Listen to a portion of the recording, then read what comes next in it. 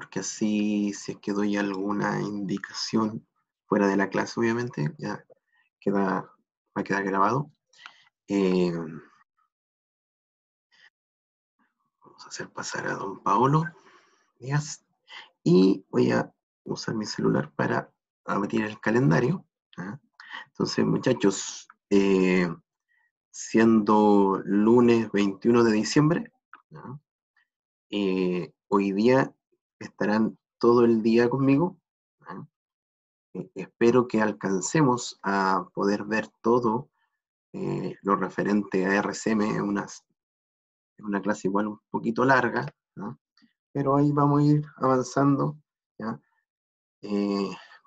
con el fin, como siempre le he comentado, de, que no vayan quedando con dudas. En caso de que terminemos todo lo de RCM el día de hoy, ustedes el 4 de enero, el 4 de enero, tendrían una clase con eh, Andrés, que sería de laboratorio, y al otro 11, ahí tenemos, tengo la duda si ustedes van a hacer el certamen el 11 o el 14, eh, donde juntaríamos los dos paralelos, ahí no lo hemos conversado bien esa parte con Andrés, no, nos, vamos, nos vamos a poner de acuerdo con, la fecha para indicárselo, pero eh, lo más eh, importante que esa sería la semana donde ustedes tendrían el certamen, la semana del 11 de enero. Quizás por tiempo, es lo más probable que sea el 11, porque así tengo tiempo para revisar el certamen. Eh, el certamen va a estar asociado a, la jerarquización de equipos y a la aplicación de un, eh, de un mantenimiento centrado en la confiabilidad. Em, entonces, en primera instancia le puedo decir que el certamen quedaría para el 11, para así tener tiempo y subir las notas sin problema antes del 15 durante lo que queda de esta semana, mm, que queda bien poco, ¿no? Yo creo que el 28, nosotros igual vamos a seguir trabajando el 28-29, ustedes tienen ahí un receso, pero el 28 yo creo que las notas ya estarían, ese día lunes me voy a dar el tiempo para revisar el certamen, la parte de ustedes, eh, lo que equivalía al otro 50% de la nota del primer certamen en la parte grupal.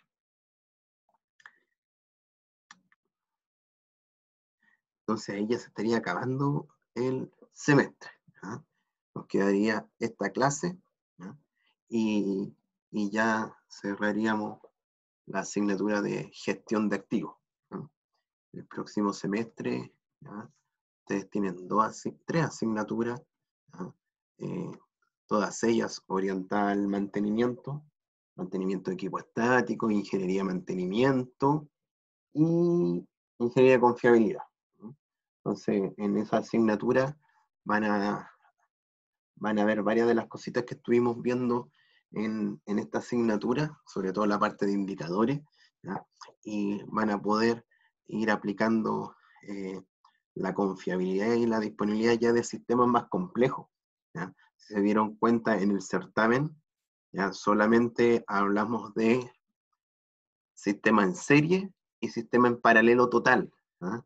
pero ustedes tienen más que claro que en un sistema, en un proceso productivo, eh, muchas veces no hay solamente paralelo total, hay equipo en stand-by, hay, equipo en sistema fraccionado, por ejemplo. Eh, usted me puede decir, profe, allá hay tres equipos que están ahí listos para operar, pero con dos ya estarían ok. E, ese para qué está, entonces ahí es una redundancia parcial. También en otros lados hablan de que, por ejemplo, este lleva un 10% de la producción, es un 20% de la producción, es un 30% de la producción y es un 40%. Eso está fraccionado. Eso lo van a ver también en el próximo semestre. Por ejemplo, le pueden decir, mira, en esta línea de proceso fabrica el 70% de la producción, en cambio acá el 30% de la producción. Eh, ejercicios como esos, situaciones como esas se van a eh, analizar entonces en ingeniería en confiabilidad, entre otras cosas, obviamente. Estoy haciendo, obviamente, un pequeño resumen de lo que van a ver, que está asociado a lo que hemos estado viendo en gestión de activos. Eh, todo lo concerniente a, los procesos de elaboración de planes, eso lo van a ver en ingeniería eh, de mantenimiento, todo lo que es la estructura, etc. Entonces, el día de hoy, nosotros vamos a analizar y revisar el mantenimiento centrado en la confiabilidad. La idea es que en caso de que tengan alguna duda, me vayan indicando de inmediato, así yo me puedo detener y explicárselo, para que así eh, sea una clase más participativa. Eh, muchachos, este tema de mantenimiento centrado en la confiabilidad, probablemente algunos de, usted, de ustedes, cuando fueron alumnos en una carrera técnica, quizás generaron un, plan de mantenimiento centrado en la confiabilidad, pero hoy día tenemos que ver cómo realmente se tiene que hacer un mantenimiento centrado en la confiabilidad si es que lo quiero desarrollar como un plan. Aquí tiene que ir lo que el RC me habla, lo que está asociado si es técnicamente factible o si merece la pena. Cuando habla de merece la pena, específicamente lo que está hablando ahí es de la parte económica. ¿Vale la pena implementar una actividad de reacondicionamiento cíclico? Si vale la pena económicamente, se aplica. Y técnicamente es posible. Eso siempre te va a preguntar el RCM. te va a preguntar la parte técnica y te va a preguntar la parte económica. Si cumple con los dos, bueno, se va a hacer una actividad específica que está identificada en un diagrama de decisión del RCM. El RCM tiene un diagrama de decisión que es como un árbol de falla en donde voy preguntando si es evidente esta falla, si puede generar un impacto en la seguridad, en el medio ambiente, en la parte operacional, pero para llegar allá tenemos que hacer todo un trayecto que lo vamos a ir viendo paso a paso el día de hoy. Entonces, en sí, el mantenimiento centrado en la confiabilidad eh, es una metodología, eso principalmente. Tiene que entender que es una metodología de mantenimiento. Específicamente, su definición habla que es una metodología utilizada para determinar qué se debe hacer para asegurar que cualquier activo físico continúe llevando a cabo su función en un contexto operacional. Entonces, aquí cuando hablamos del contexto operacional, ya nos va a indicar que existe la posibilidad en donde, por ejemplo, dos de ustedes son compañeros de la misma empresa, trabajan en la misma empresa, pero en diferentes faenas. Uno trabaja en una faena, por ejemplo, ubicada en Calama, y otro compañero de la misma empresa, pero trabaja en los bronces. Y ambos son especialistas en un equipo X minero. ¿ah? Ambos trabajan en un equipo X minero. Ambos son especialistas en ese equipo. Entonces, viene, a ver, vamos a ver algún nombre acá. Viene Paolo y me dice, profe, yo quiero hacer un plan de mantenimiento centrado en la confiabilidad de mi equipo, el Bulldozer 375. ¿ah? Y don Renzo, aquí también, me dice, profe, yo también quiero hacer el Bulldozer 375, y habrá un impedimento en que ambos, ¿ya? ambos podamos generar el trabajo de título asociado al mismo equipo, yo ahí le voy a decir para nada. Ojo, que en su escrito, en su informe, en el capítulo 1, a los profesores no les va a interesar tanto que que tengan 20, 20 30 páginas, ¿ya? de pura historia de la empresa y del equipo, sino que ahí usted va a tener que ahora asociar el contexto operacional.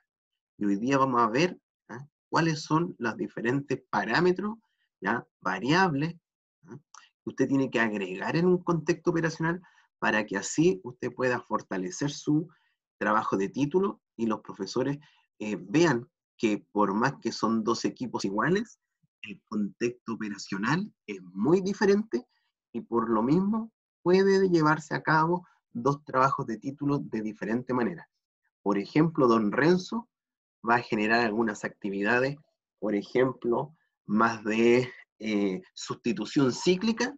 ¿eh? ¿Por qué? Porque don Renzo trabaja cerca de Santiago, por ende, la, tener un, cambio de, repuesto es más fácil que para nuestro amigo que está en el Paolo, que está en Calama, que a lo mejor está a ciertos kilómetros alejado de la ciudad, y a lo mejor ahí está más asociado una actividad de, de trabajo, de mantenimiento eh, correctivo, como lo llama el RCM, mantenimiento eh, no programado. o búsqueda de falla, ¿ah? o sustitución cíclica o acondicionamiento cíclico. Entonces, ahí nos vamos a dar cuenta que para el mismo equipo, ¿ah? don Paolo tiene este tipo de actividades. ¿ah? En cambio, para don Renzo va a ser esta otra actividad, muchas más actividades, pero más económicas, en donde Paolo van a hacer menos actividades pero van a ser más costosas porque son actividades más asociadas a, grandes cambios. Pero eso lo vamos a ir viendo a medida que vamos avanzando. Ahora, lo importante es que el contexto operacional va a describir dónde está ubicado su equipo y cómo las condiciones externas eh, repercuten en el día a día de su equipo. Por ejemplo, a lo mejor don Renzo utiliza su bulldozer para actividades de limpieza de terreno y a lo mejor Paolo utiliza su bulldozer para actividades de limpieza de, del sitio donde trabaja la pala mecánica. Son dos equipos, pero con diferentes eh, aplicaciones. Entonces, por lo mismo, uno no puede ahogarse y decir, pucha, mi compañero inscribió primero el trabajo que yo. No, porque usted va, a inscribirlo como eh, plan de mantenimiento centrado en la confiabilidad de Bulldozer 375 en faena Los Bronces. En cambio, su otro compañero, plan de mantenimiento centrado en la confiabilidad de Bulldozer 375 eh, en faena eh, Coyahuasi son dos faenas diferentes, con un contexto operacional totalmente diferente, y que ahí ustedes tienen que desenvolver muy bien el tema del contexto operacional. Ya no nos interesa tanto la historia de la empresa, no sé, pues nosotros ya hemos visto muchas historias de Codelco, de Caterpillar, de Komatsu, ¿ah? no sé, pues de, de John Deere. Entonces no es eh, la idea en estos capítulos. La idea es que tenga contenido que sí vaya a utilizarlo para su trabajo de título. Entonces, ahí tiene que tener el ojo. Entonces, nosotros queremos generar una metodología para que podamos decirle a nuestra jefatura que estas actividades van a asegurar el funcionamiento correcto, el, buen funcionamiento esa palabra la vamos a utilizar bastante, el buen funcionamiento de su activo ¿ah? en este contexto operacional. Aparecen ahí este equipo de trabajadores. ¿Por qué? Porque el RCM no se hace solo.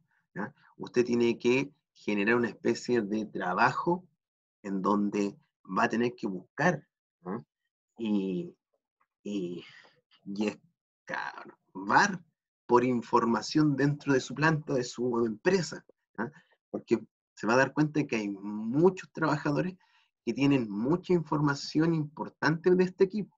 Entonces, ese trabajo lo va a tener que hacer usted lo va a tener que llevar entonces a su trabajo de título. Entonces,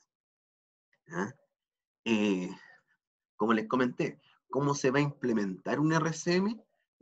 En primer lugar, tiene que conformar un equipo de trabajo. El RCM le llama un equipo natural de trabajo, en donde existe un facilitador, en donde van a estar los miembros, y donde va a estar el dueño del... Oh, va a estar el dueño del problema. Entre estos tres se tiene que hacer un trabajo. Entonces, entre estos tres, usted, para el lector de su trabajo de título, para el lector de algún informe, ¿ya? se tiene que esclarecer cuál van a ser ¿ya? cada perfil, cada cargo, cada función de cada uno de ellos. Aquí, muchachos, en esta parte está el conocimiento del equipo. Aquí usted tiene que tener cuidado de la selección, ¿ya? Y usted que va a actuar como un facilitador, usted va a tener que equilibrar estas fuerzas. Porque, por ejemplo, si aquí hay un eléctrico con mucha experiencia y muy respetado por sus colegas, sean mecánicos, instrumentistas, lubricadores, soldadores, ¿ya?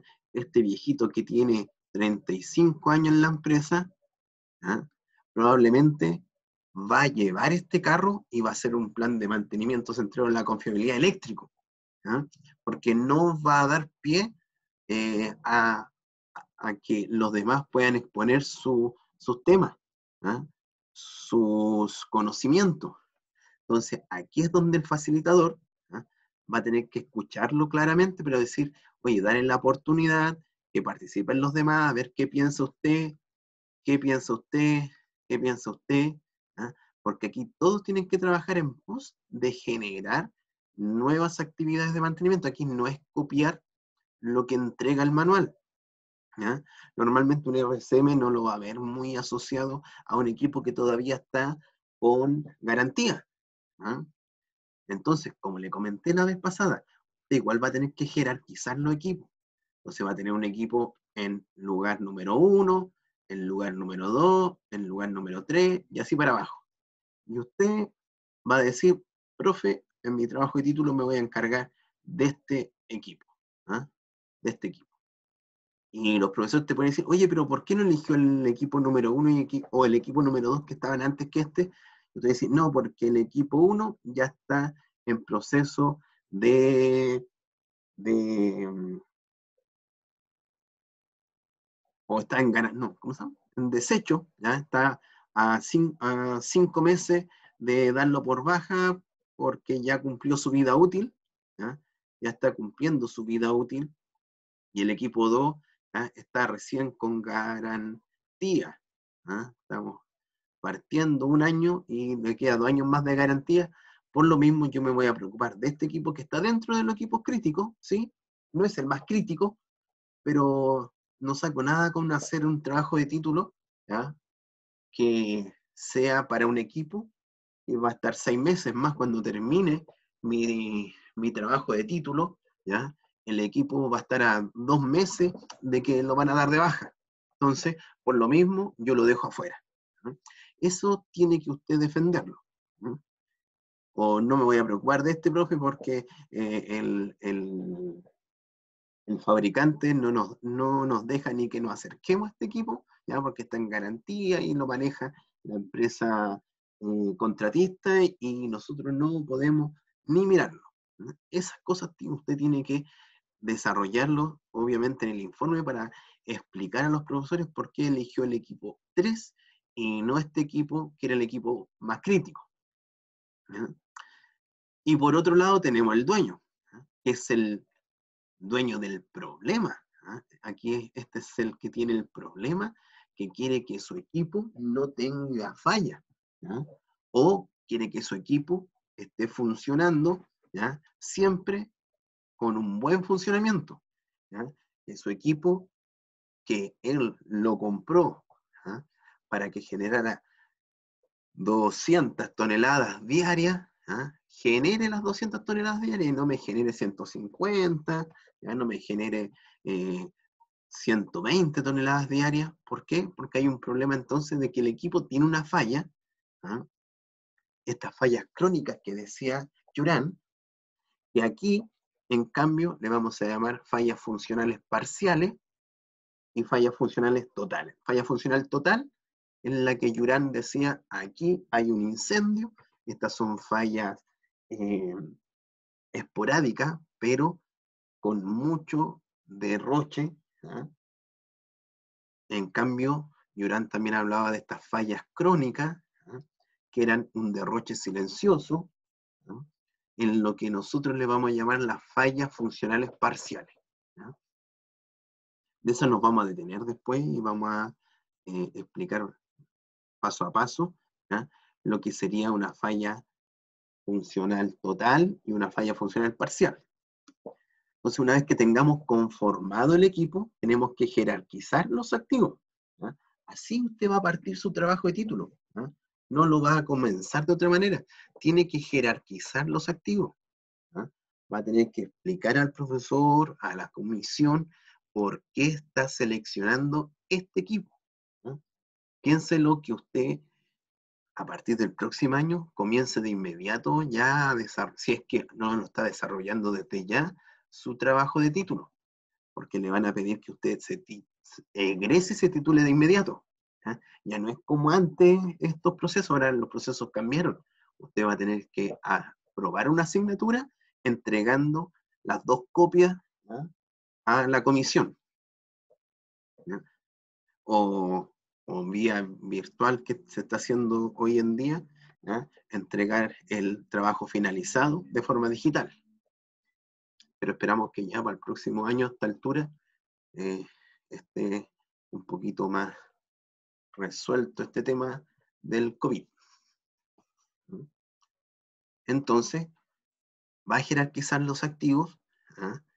Eh, otro tema importante que usted puede jerarquizar los activos y después puede jerarquizar los subsistemas del activo que usted ¿ya? encontró más crítico, porque a lo mejor el equipo que usted va a seleccionar es un monstruo, es un equipo gigantesco, en donde por tiempo no le va a dar para generar un plan de mantenimiento a todo el equipo, a lo mejor va a tener que elegir unos tres sistemas, ya los tres sistemas más críticos, y ahí usted se puede ayudar eh, por ejemplo, con un diagrama Jackknife, una vez que ya haya seleccionado su equipo crítico, después dice, ya voy a ver los componentes críticos o los subsistemas críticos de este equipo crítico que lo elegí mediante una matriz cualitativa de riesgo.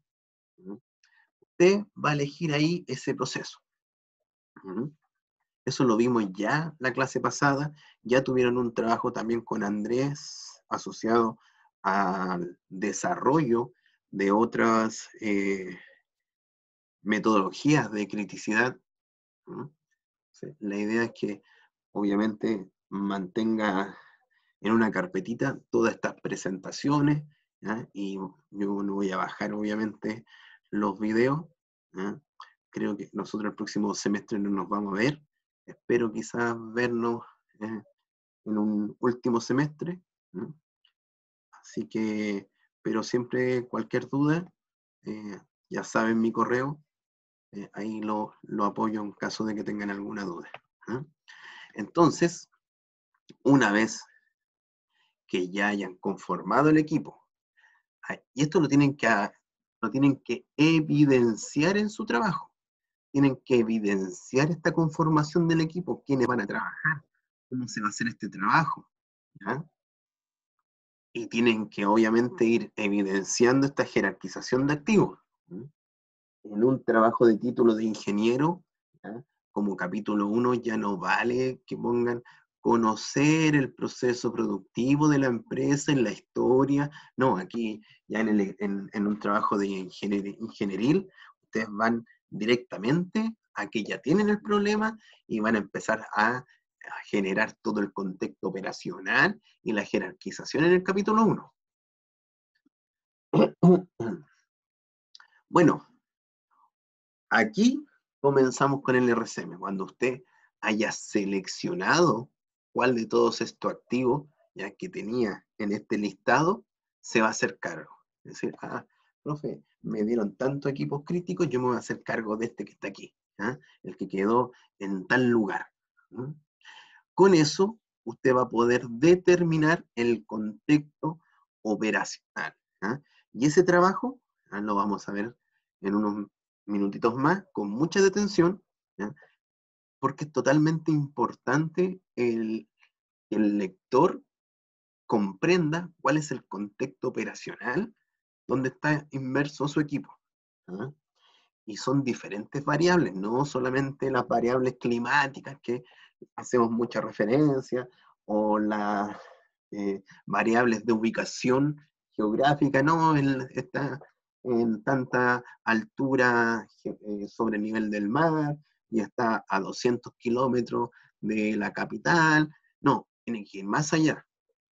Tiene que hablar de turno, tiene que hablar de eh, si hay, los trabajadores se quedan en campamento, tiene que hablar del clima laboral, del ambiente laboral, tiene que hablar de una serie de parámetros que lo vamos a ver en unos minutitos más ¿ah?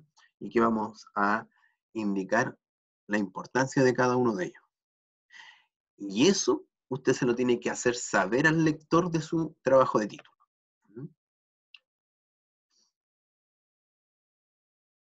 Luego que tenemos el equipo seleccionado o el subsistema de este eh, subsistema seleccionado, eh, vamos a definir las funciones.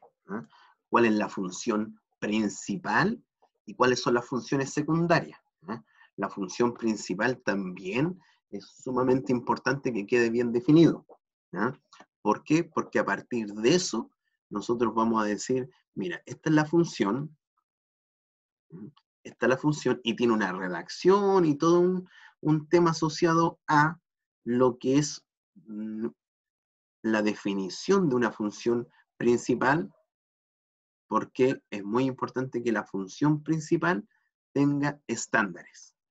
Estándar de desempeño. Desempeño. Porque así, conociendo los estándares de desempeño, vamos a saber si tiene una falla funcional total, obviamente se va a ser fácil de describir porque es la detención total del equipo, pero también tenemos que conocer una falla funcional parcial. ¿Qué significa? Profe, mi equipo tenía que eh, transportar eh, cada, tiene que transportar 280 toneladas Por, cada, por cada viaje, pero por problemas técnicos el operador eligió eh, no sobrecargarlo y ahora se está transportando solamente 200 toneladas. Eh, ahí hay una falla parcial que tenemos que descubrir qué es lo que lo está generando. Y esa generación de esa falla funcional viene asociado de un modo de fallo. Y ese modo de fallo nosotros le vamos a aplicar una actividad de mantenimiento, que lo vamos a describir de inmediato. Entonces, aquí, por ejemplo, eh, se utiliza el CIPOC, el EPS, hay diferentes metodologías, pero lo importante es que usted tenga claro por qué está su equipo en, ese, en esa parte de su proceso productivo. ¿Por qué es tan importante que este equipo esté ahí? ¿Por qué, el, ¿Por qué el dueño compró ese equipo y lo puso ahí? ¿Cuál fue la razón del diseño que hace que el equipo esté ahí? Esas son las, preguntas que usted se va a ir desarrollando para poder dar respuesta a las funciones principales y secundarias. Posteriormente, tal como le había comentado, está la determinación de las fallas funcionales. Vamos a tener fallas funcionales totales y vamos a tener fallas funcionales parciales. Cuando hablamos de una falla funcional, eh, recuerde muy bien lo que hablamos en algún momento de la curva de diseño, que era, esta, diseño, implementación, y después venía la falla potencial, ¿ah? y después venía la falla, aquí, el, el incendio. ¿Se recuerda esa curvita que nosotros analizamos hace mucho tiempo? O sea, no sé si hace tanto tiempo, pero el tiempo ha pasado tan rápido de todas maneras, pero debe haber sido hace un mes y medio aproximadamente. Entonces, usted, por ejemplo, diseñó, empezó a funcionar y aquí ya su equipo no está generando, eh, está generando un, un aviso, tiene un síntoma, tiene un ruido extraño, tiene una vibración anormal, tiene una temperatura anormal, el equipo te está avisando de que tiene una falla potencial. ¿ah? Primero te va a avisar de una falla potencial, posteriormente va a decir, mira, ¿sabes qué? Tú no, tú no te preocupaste de mí, y aquí va a decir, mira, yo ya no te puedo generar la cantidad de productos por hora que tú querías no te puedo generar las velocidades que tú deseabas. Por ende, aquí va a empezar a haber fallas parciales. Hasta que, si usted no se preocupa de esa falla funcional parcial, va a llegar una falla funcional total. ¿ah? Esa incipiente falla potencial fue creciendo, creciendo, ocasionó una falla parcial y posteriormente ocasionó una falla total. Entonces, preocupémonos desde la falla parcial, o sea, potencial. Luego nos preocupamos de que no lleguen a ser fallas parciales ni menos fallas totales. Y ese va a ser el procedimiento que vamos a ir realizando paso a paso para saber qué es una falla potencial y cómo nos avisa de aquello y cómo saber ¿ah? eh, si es económicamente rentable aplicar una actividad en este punto o dejar que llegue a una falla total. Ojo que también en algunas ocasiones nos va a decir, ¿sabe qué? Trabaje hasta una falla total.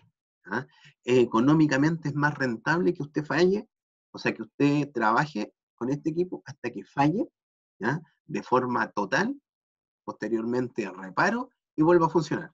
Pero ese análisis económico y técnico lo tiene que ir desarrollando, ¿ya? Modo, a, modo de fallo a modo de fallo. Todos los modos de fallo usted lo tiene que estar analizando económicamente y técnicamente. Y ahí usted va a dar la respuesta de aquello. Entonces, cada falla funcional total y cada falla funcional parcial me va a llevar a mí la identificación de modos de fallo. ¿ah? Esos modos de fallo, por ejemplo, va a ser la rotura de una manguera hidráulica. ¿ah? Ese modo de fallo puede ser una fractura de un eje. Ese modo de fallo puede ser un rodamiento atascado que no son las causas, orígenes, raíces. Ese otro tema, ese análisis causa-raíz, está asociado a identificar de dónde viene este modo de fallo, cuál es su causa raíz. Aquí nosotros vamos a identificar la causante de una falla funcional. ¿Mm?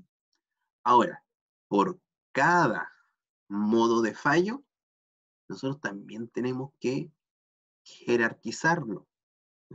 Porque van a haber modos de fallo que van a ser no tan críticos, algunos muy pocos críticos. Entonces no nos desgastemos, no tratemos de matar una mosca con una bazuca. Entonces, por lo mismo, si mi problema es tan pequeño, este modo de fallo es tan pequeño y no tiene una alta severidad, por ejemplo, ese modo de fallo, y la frecuencia o la ocurrencia es muy baja, y además lo puedo detectar de manera pronta, yo puedo decir, mira, el RPN, el número de probabilidad de riesgo, es muy bajito. Por ende, me preocupo en primera instancia de los RPN que sean mucho más altos. ¿Y qué hago? Jerarquizo también mi modo de fallo. Un buen eh, trabajo de título va a partir desde que usted conforme el equipo del trabajo, jerarquice los activos, jerarquice el subcomponente o los, o los componentes más críticos, pero también pueda jerarquizar y entregarle alguna criticidad a los modos de fallo. Y aquí, muchachos, en la severidad, en la ocurrencia, a lo mejor alguien me puede decir, profe, pero eso es como un, una MEF, un, un FMECA. Este de acá es el FMECA. Para los que tenían alguna duda, todo esto y un poquito más que nos está faltando es el que es el análisis de los modos de fallo, su efecto y criticidad. Ese es el FMECA. O, AMEF, dependiendo cómo lo, lo haya escuchado. Pero eso es el análisis de modo de fallo. También tenemos que ver la causalidad de esos modos de fallo y ahí está presente el análisis causa-raíz. Análisis causa-raíz para llegar a la raíz de un modo de fallo. Esto, este análisis de AMEF, o sea, sí, este AMEF, el próximo semestre, usted también va a tener que analizar las causas raíces, pero ojo que en esta asignatura nosotros vamos a dejar de ladito el ACR, porque por contenido los análisis causa raíz vienen en confiabilidad 1, ¿ya? Pero ojo, un modo de fallo usted también puede buscar su modo, o sea, disculpe, a los modos de fallo usted también puede encontrar la causa raíz, el análisis causa raíz, ¿ya? En donde va a tener un análisis causa raíz en primer lugar, buscando lo físico, las causas raíces físicas. Luego las causas raíces humanas, y luego las causas raíces latentes, que llegamos hasta el origen del problema que está asociado a la organización. Aquí apunta más a la organización, qué está dejando de hacer la organización o qué es lo que está haciendo mal la organización para que se vaya generando este modo de fallo. Ojo, un modo de fallo no es un análisis causa-raíz, tenga esa diferencia, ¿ok? Porque en, un certamen que hicimos con lo del residencial, tenían algunos esa confusión, empezaban a buscar como el análisis causa-raíz de, de, esa, de ese modo de fallo. Y lo confundían exactamente con los efectos. Y aquí nosotros vamos a determinar los efectos de un modo de fallo. Los efectos son los síntomas. Por ejemplo, algo cotidiano que se, va, que se va a ir viendo en una industria, por ejemplo, puede ser una fuga. Una fuga de aceite, una fuga de vapor, una fuga de agua, dependiendo del contexto operacional. ¿ah? Muchos, muchos a la fuga piensan que es el modo de fallo. Y para nada. La fuga es solamente un efecto de un modo de fallo. ¿ah? Es un síntoma. Y la consecuencia está asociado más que nada a que si esa fuga me va a perjudicar el medio ambiente, me puede dañar el medio ambiente, me puede dañar a un trabajador, me puede afectar económicamente. ¿ya? Ese va a ser la consecuencia de un modo de fallo. Y el efecto va a ser el síntoma. El efecto va a ser el síntoma. Ah, cuando esta clase la desarrollaba de forma presencial, tomaba a alguno de los compañeros y le preguntaba, imagínese que usted está acá. Entonces, hace dos semanas, usted ha bajado su rendimiento. No puede estudiar hasta cierta hora como antes. Eh, ha, tenido, de alguna manera, una falla funcional parcial. ¿Por qué? Porque sigue estudiando, y, pero sigue con, con problemas, ya no se concentra como antes, como le comentaba. Entonces, lo que me dice usted, profesor, que me duele la, la cabeza, hace un par de, de semanas, no me, no me, deja concentrar este dolor de cabeza, o tengo un dolor de estómago, tengo un dolor de estómago hace días y tampoco me deja concentrar ese dolor ¿ah? son efectos, son síntomas de una enfermedad.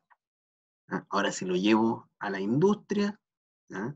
un síntoma, una vibración anormal, un ruido extraño, un aumento de temperatura, una disminución de temperatura, esos son efectos.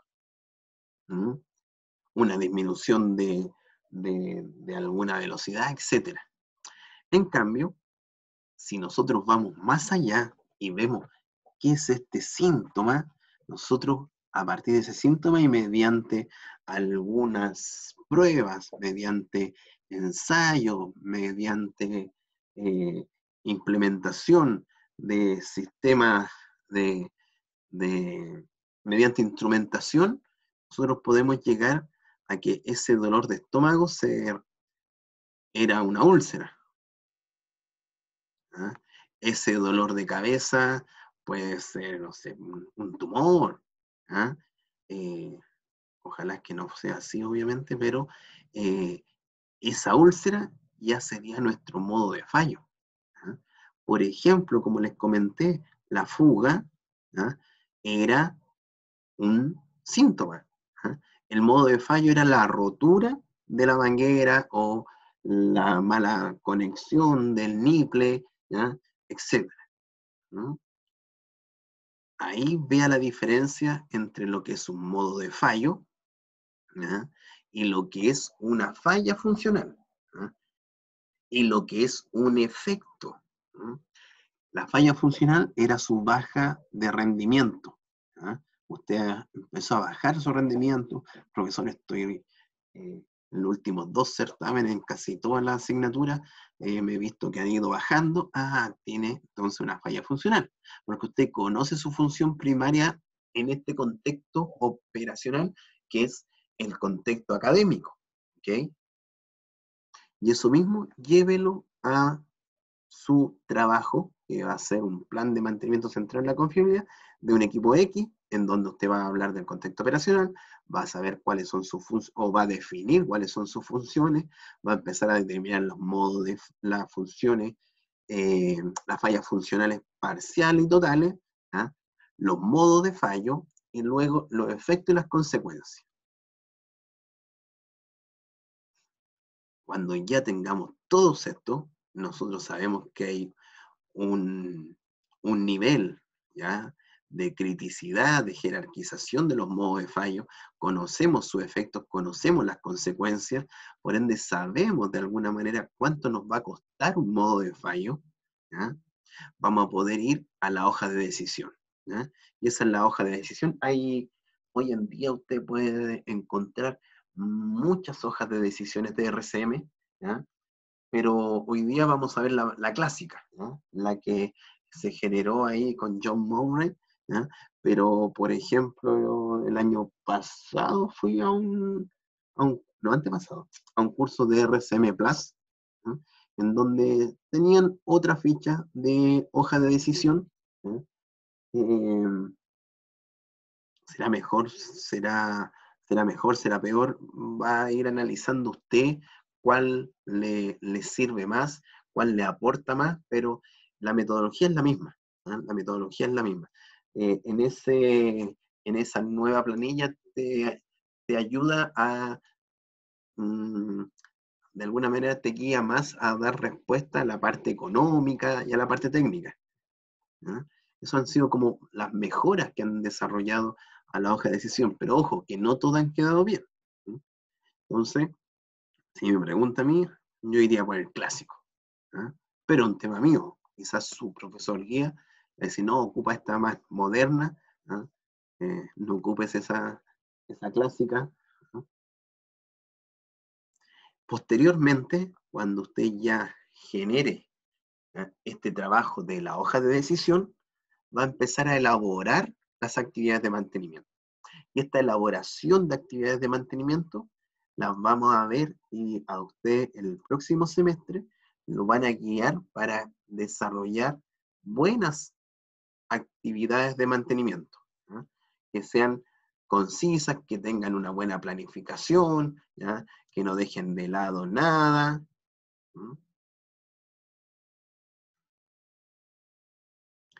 Y ese trabajo es el que los profesores le van a decir, mira, este tiene el 40% de la importancia de tu trabajo, ¿ya? Eh, el otro porcentaje es que tú nos indiques que son técnicamente factibles hacer estas actividades, porque a lo mejor usted se va a poner muy creativo, va a generar actividades que, no, va a saber, no va a saber después cómo desarrollarlas, porque implementó tanta tecnología y algunos eh, sistemas todavía no existe esa tecnología. Y otro tema más importante, en ese porcentaje que le había comentado antes, eh, los profesores te dicen, ya, y económicamente, eh, ¿cuál es el impacto en la empresa esta, este plan de mantenimiento? Porque tú vas a decir, no, mi plan de mantenimiento se centra en la confiabilidad, hice el cálculo y anualmente va a salir 120 millones de pesos. Eh, y ahí te van a preguntar, ya ahora muéstrame cómo va a aumentar la disponibilidad, la confiabilidad de este equipo gracias a tu plan de mantenimiento. Eh, profe, va a aumentar en un 2%. Y ahí alguien te dice, ya, ¿y esos 2% cuánto corresponde en dinero? Tú, vas a decir, no, corresponde cada porcentaje, son 200 millones de pesos. ¿ah? ah entonces, si aumenta a 2, va a ser 400 millones de utilidad, pero ojo, que tú estás dentro de un proceso productivo y ese 2% es solamente el aumento de este equipo. ¿ah? Y tú tienes que sacar el del sistema, tal como el ejercicio que le hice en el certamen, que al aplicar un plan de mantenimiento se comprometía en aumentar cierto porcentaje, los equipos, cómo era válido o no era válido implementar ese plan de mantenimiento. Así lo va a tener que hacer usted. ¿ah? Obviamente va a tener que generar otras cositas, un flujo de caja, etcétera, pero ahí está la orientación. ¿ah? Así lo va a tener que defender. Y después está la elaboración de actividades, usted lo puede presentar en algún software de, mantenimiento, etcétera. Entonces, como, como introducción, como introducción al RCM tenemos esto. Este es el, paso a paso que hay que hacer. Y para poder desarrollar esto, vamos a tener que ir pasando etapas por etapas. Primero, la conformación del equipo, la jerarquización, y luego entramos al RCM. Y nuestro, nuestra guía para el RCM van a ser siete preguntas que las vamos a ver a continuación, que son las siete preguntas básicas del RCM. Entonces, cuando tenemos que conformar el equipo de trabajo, yo les dije, va a haber un facilitador que va a tomar a todos los miembros del equipo y de alguna manera va a ser como un árbitro, para que este viejito que lleva muchos años en la empresa. No vaya a hacer de que no deje opinar a los demás y que cuando el mecánico opine, este le diga, oye, estáis más perdido. Esas palabras, ¿ya? Ese, ese bullying que se podría desarrollar, porque dése cuenta que son, son trabajos que usted va a estar, que va a tener que estar desarrollando en una empresa en donde hay un ambiente, un clima laboral muchas veces un tanto complejo, y que más que usted ¿ah? nos va a poder decir eh, este, esta empresa su ambiente laboral y su clima laboral eh, es de esta forma, por ende, lo primero que tuve que hacer fue dos semanas de explicar lo que era el RCM, la importancia de que todos nos escuchemos. ¿ah? La, la, primera semana fue más de educación para implementar el RCM. Y el dueño está por acá. Recuerde que es un tema tripartito entre el facilitador, el dueño y los miembros del equipo. El facilitador tiene que tener también la sabiduría de, de no llevar las, las actividades de mantenimiento a lo que le, le sea más fácil. Porque lo mismo, si usted es mecánico o eléctrico, a lo mejor usted va a tender a llevar la mayor cantidad de actividades para allá, decir, no, la otra actividad vamos dejándola afuera. No es la idea. La idea es, eh, es poder generar este trabajo y que todas las actividades tengan el mismo peso y cuando las llevemos a, un, a una jerarquización de modo de fallo, ahí ese proceso, mediante la SAEJ 1739, eh, la severidad, la ocurrencia y la detección, nos diga cuál es más alta y cuál es más baja, pero no usted. Es más, hay, hay algunos eh, facilitadores eh, que prefieren ni conocer el equipo de forma técnica. Dicen, no, mira, ¿sabes qué? Yo soy de la idea de que yo no puedo conocer el equipo porque si conozco el equipo voy a saber, voy a tener ya un, tenor con mi línea de desarrollo. O sea, mejor ni conocer el equipo. Como hay otros también, hay otras eh, corrientes de RCM que dicen, no, pues el facilitador tiene que conocer el equipo, porque si no, estos viejos le pueden decir cualquier cosa y esto lo va a llevar. Obviamente hay que equilibrar. Para mí, eh, el facilitador tiene que conocer el equipo, pero no ser especialista en el equipo no ser especialista, porque ser especialista ya me podría llevar este, estas actividades a un plano que son de mi especialidad, siendo que este equipo tiene muchas, muchas eh, componentes, subsistemas, etc. Entonces, cuando aplicamos un RCM, usted tiene que aplicar estas siete preguntas. Es más, usted podría, podría desarrollar su trabajo de título asociado a estas siete preguntas. ¿eh? La primera pregunta me va a hablar cuáles son las funciones y los estándares de ejecución asociados con el activo. Ojo, aquí no me dice que jerarquicemos. ¿Por qué? Porque la jerarquización viene previa. Ya tengo que haber jerarquizado, ya debí haber conformado mi equipo de trabajo y aquí, una vez que ya tengo esas dos cosas listas, me pongo a trabajar en el RCM. ¿eh? ¿Cuáles son las funciones y los estándares de ejecución asociados al activo? ¿Por qué es tan importante conocer los estándares de ejecución? Para saber si mi equipo está en un buen funcionamiento o en un mal funcionamiento. ¿eh? Y si yo sé que mi equipo está en un mal funcionamiento, pero sigue funcionando, ¿eh? Es que tiene una falla funcional parcial. Y si mi equipo se detuvo, es que tiene una falla funcional total. Y además me dice en su actual contexto operacional.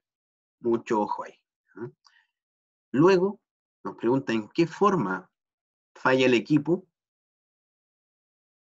con respecto a la función que cumplen el contexto operacional, ahí me está hablando de las fallas funcionales. Y ahí mismo nosotros determinamos falla funcional total, falla funcional parcial. Y ojo, para los modos de fallo, voy a tener modos de fallo que van a estar asociados a las fallas funcionales parciales y voy a tener modos de fallo que van a estar asociados a las fallas eh, totales. Y tengo que hacer un orden de ellos. ¿Qué causa cada falla funcional? Aquí no me pregunta la causa raíz, ojo, me dice qué es lo que causó esa falla funcional. Ah, profe, la causa fue la rotura, rotura de la manguera hidráulica. ¿ya? Eso, muchachos, va a ser su modo de falla. ¿ya? Ese va a ser entonces su pregunta 3. ¿ya? Aquí me están preguntando la causa de cada falla funcional. ¿Cuál va a ser la respuesta? Los modos de fallo. Así voy a responder esta pregunta.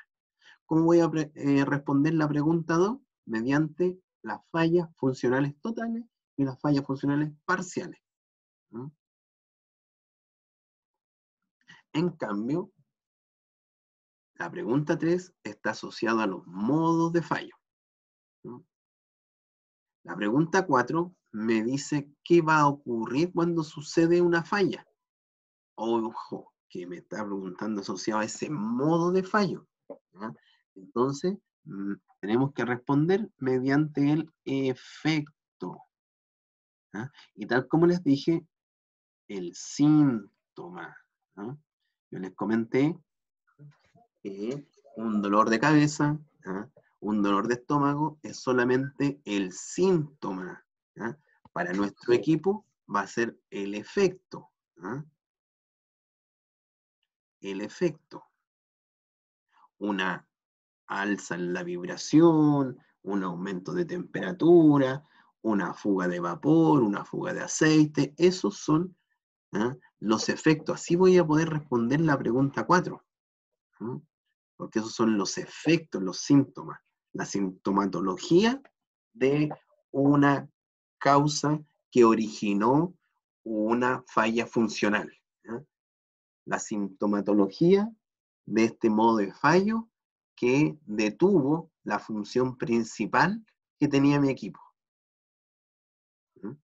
Posteriormente a eso, hablamos del impacto. ¿Cómo impacta cada falla? Y aquí, muchachos, Yuran, disculpe, eh, John Murray hablaba del medio ambiente, de la seguridad, de lo operacional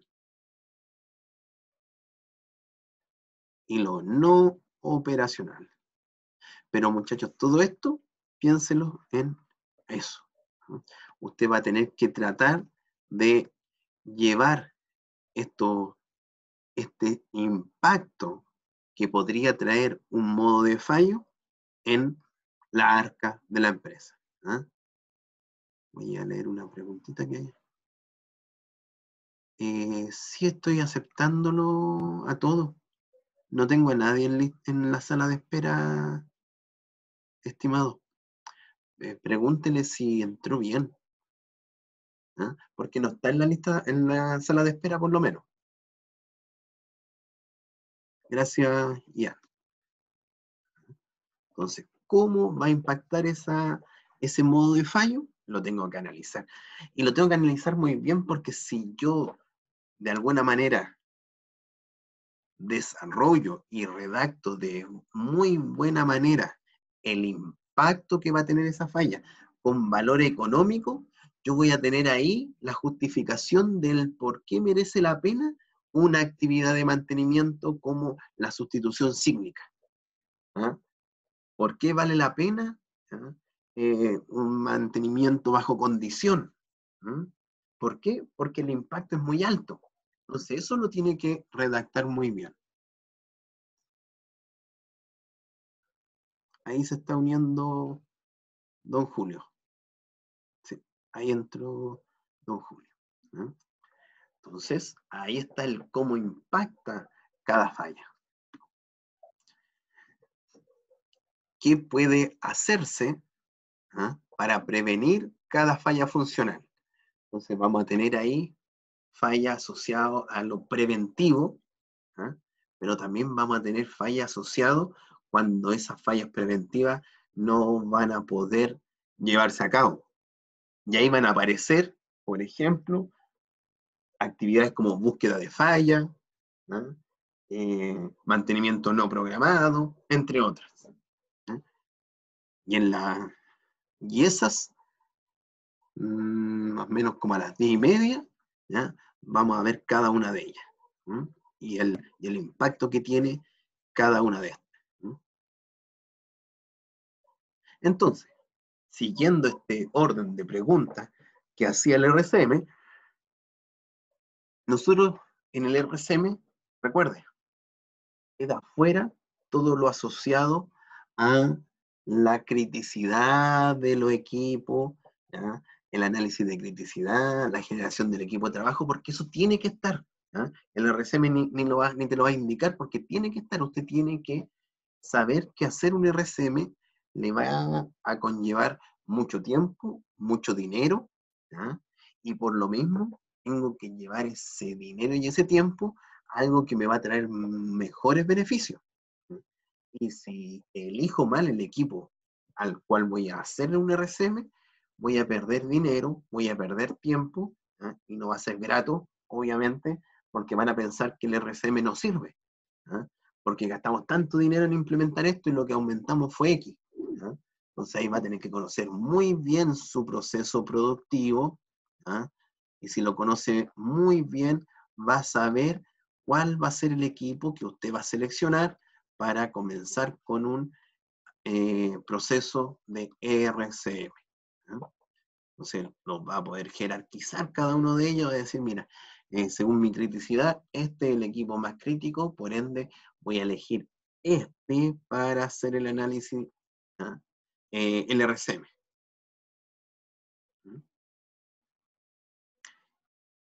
Y por lo mismo, cuando genero ese flujo productivo, es claro que usted va a tener que presentar ese flujo productivo en su trabajo de título. A lo mejor alguien me dice, profe, ¿sabe que yo tengo un problema? Yo, mi empresa y mi proyecto está asociado más a, la empresa proveedora o, o, empresa contratista, en que tenemos un puro equipo. Y ese es el trabajo que hacemos por mi empresa. Ese es el equipo que tenemos. Nos encargamos de perforadora. ¿ah? Eso se encarga mi empresa y tengo información de eso y me gustaría, porque conozco también del tema, ya ahí lo presenta de otra manera su contexto operacional, obviamente, ¿ah? y va a tener que defenderlo de otra manera, ¿ah? el por qué va a elegir ese equipo. ¿ah? Y lo puede justificar por la experiencia que tiene, por la data que tiene. Pero eso se justifica sin ningún problema. No piense que alguien le dice, ah, no, no, no existe el flujo, el flujo de programa, Ojo, que también vas a presentar el flujograma de la empresa mandante, porque es importante saber dónde está ese equipo dentro de todo de la línea de la cadena del valor de ese proceso productivo. Ah, dentro de todo este de toda esta cadena de valor, ¿ah? era un equipo, luego otro, luego otro, luego se dividían en tres, ¿ah? No sé, pues alguien dice, profe, mí, yo estoy a cargo acá de una sala de compresores y esa sala de compresores alimenta a estos tres equipos. Y sin esta sala de compresores, esto no avanza. Bueno, ahí también tiene otra justificación. Profe, pero no, es de, no está asociado a la cadena eh, del valor de este proceso. No, pero si no está este equipo de, respaldo, de apoyo, ¿ya? o de servicio, eh, esto no va entonces también tú lo puedes llevar a dinero. Ahí va a tener que defender ese tema. Yo, por ejemplo, estoy guiando un trabajo de título de un compañero de ejecución, sí, que está desarrollando su plan de mantenimiento en una sala de compresores, con todo lo que conlleva. Estamos hablando de sala de compresores gigantescos, con, todos los componentes, que tiene un, una sala de compresor, porque no nos vamos a encargar de hacer solamente el compresor, sino que de, la sala. Entonces, ¿qué dice John Murray sobre eh, la función?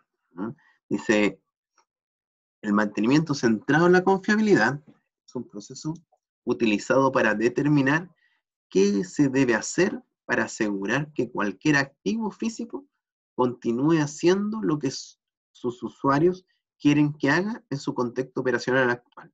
Entonces, de esta manera, de esta manera John Murray saca de alguna manera esta parte, lo que los usuarios quieren que haga. Ahí nace la función. ¿Por qué? Porque, ojo, ojo, yo puedo tener un equipo dentro de mi proceso productivo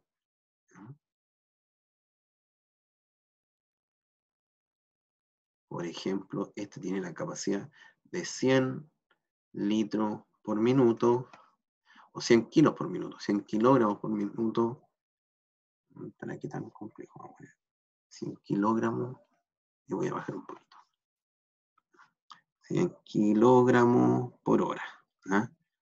100 ¿ah? kilogramos por hora. 200 ¿ah? kilogramos por hora 100 kilogramos por hora. Y este es mi equipo crítico.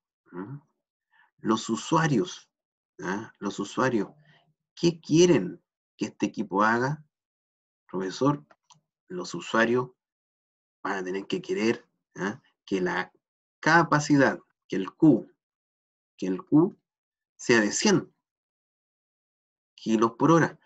¿Por qué? Porque si usted genera acá 200, no está el sistema para acumular todo ese delta. Y aquí se generaría un atochamiento en donde se generarían acá materia, eh, material asociado a lo que produce este, este equipo, y se empezaría a generar, a generar cerro de producto. ¿Por qué? Porque no tengo ningún acumulador, no tengo ningún stockpile. Entonces, ojo, por más el fabricante a mí me indique que este equipo tiene un estándar de desempeño de 200 kilos por hora, ¿ah? el usuario no quiere esos 200 kilos por hora. El usuario quiere que genere 100 kilos por hora. Entonces, este va a ser tu estándar de desempeño adecuado. No el 200, el 100. Y tenemos que hacer todo el trabajo de mantenimiento asociado a que se cumpla ese 100, no ese 200. Entonces, ojo, usted me va a poder presentar las características técnicas que tiene un equipo, las capacidades que tiene un equipo, pero no necesariamente va a ser lo mismo que usted le va a pedir a ese equipo.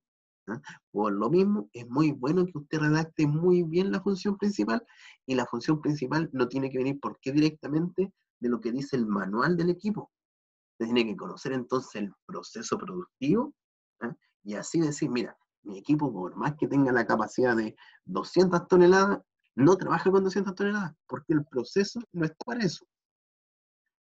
Está para 100 kilos por hora, 100 toneladas día, 200 zapatos por minuto, etc. 22.000 cigarrillos por día, no sé, ahí lo que sea su proceso productivo. ¿Por qué? Porque esto es lo que nosotros les vamos a pedir como usuario, no los 200. Profe, es que se quiere instalar un stockpile para guardar aquí. Ah, es que ahí cambia el contexto operacional. Ahí cambia el contexto operacional y a lo mejor lo que se va a generar acá va a ser un, galpón de almacenamiento. ¿ah? Un galpón de almacenamiento. momento.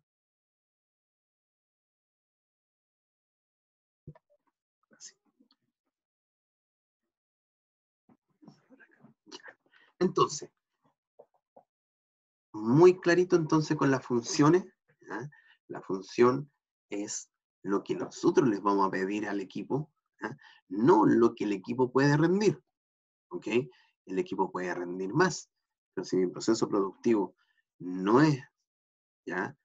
no, no alcanza para soportar esa producción, ¿ya? no puedo pensar en eso. Como le indiqué, si su empresa quiere implementar un stockpile, un, acumulador, ¿ah?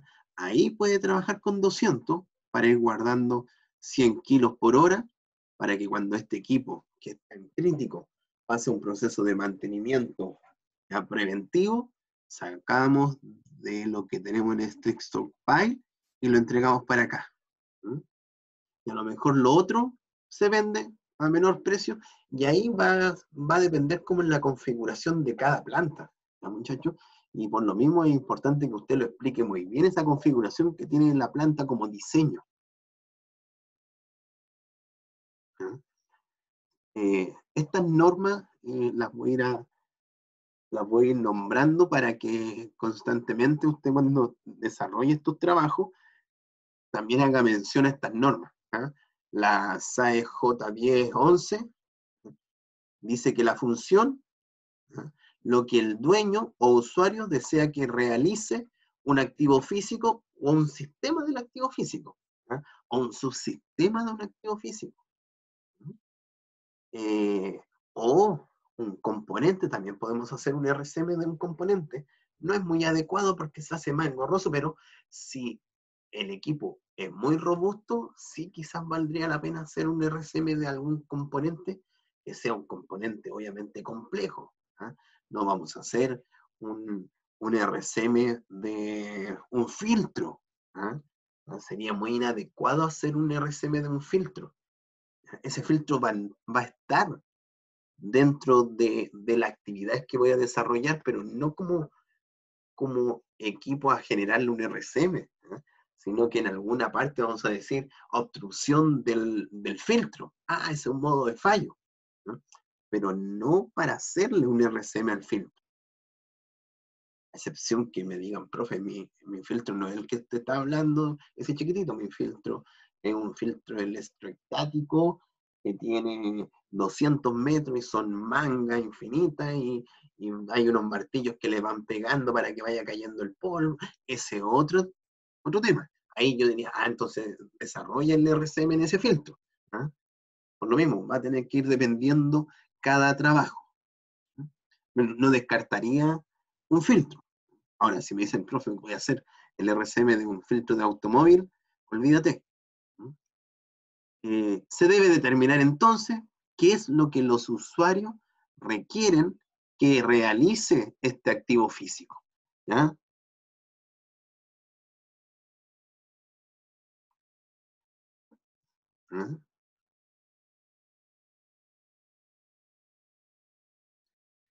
Se debe definir los parámetros requeridos por el activo. Los parámetros. ¿Y por qué es tan importante asociar los parámetros? Porque aquí me va a dar ¿ah? la justificación de los estándares de desempeño. Entonces, ojo con esta parte, hay que definir estos parámetros. ¿ah? Como por ejemplo, velocidades, temperaturas, presiones, caudal. Esos van a ser parámetros de nuestro activo y siempre van a estar asociados al contexto operacional. Entonces, ahora ya que hemos hablado tanto del contexto operacional, eh, enfoquémonos en el contexto operacional. ¿Qué es el contexto operacional? ¿Cuáles son las justificaciones que yo voy a tener que hacer en mi trabajo de título para eh, detallar esta parte? Entonces, en síntesis, el contexto operacional son las condiciones en las cuales el activo físico va a operar o debería operar.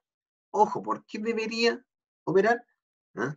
Porque tiene que darse cuenta que una cosa es lo que le entrega el fabricante del equipo que tiene esta capacidad, pero usted no lo va a usar al 100%, porque su proceso no da para lo que compró un equipo mucho más grande de lo que usted eh, podría haber implementado.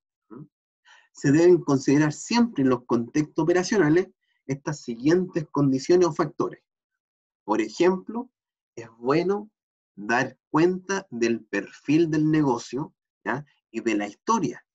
Siempre y cuando no me generen cinco páginas de la historia, ¿ah?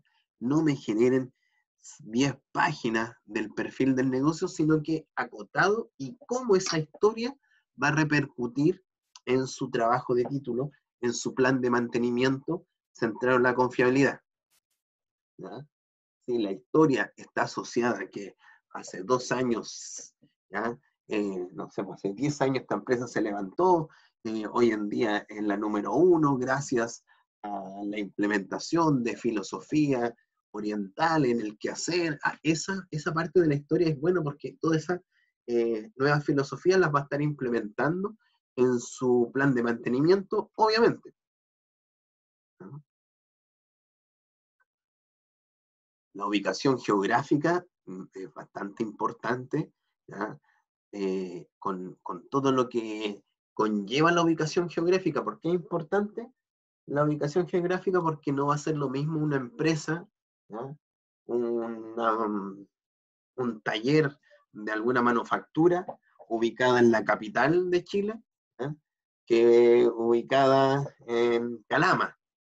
No por, o, acá en, la región, no por un tema eh, de que sea mejor en una parte o en otra parte, sino que para conocer la facilidad de tener algún repuesto, eh, porque también voy a conocer desde ahí cuáles podrían ser los, las remuneraciones, ¿ya? Las remuneraciones de, los, de los empleados que van a estar asociados, obviamente, a este contexto operacional. Eh, la cercanía a, algún puerto es muy importante. Usted me dice, profe, quedamos ahí en, en Rancagua, la, ya, ¿qué puerto se ocupa? Entonces, en el contexto operacional, usted va a decir, bueno, eh, esta empresa utiliza el puerto de San Antonio. ¿Por qué? Porque eh, para grandes faenas, obviamente, esos equipos, esos repuestos, no todos los van a hacer acá en Chile. Muchos vienen de, en buques desde la China, ¿ah? desde países europeos, que necesita un puerto.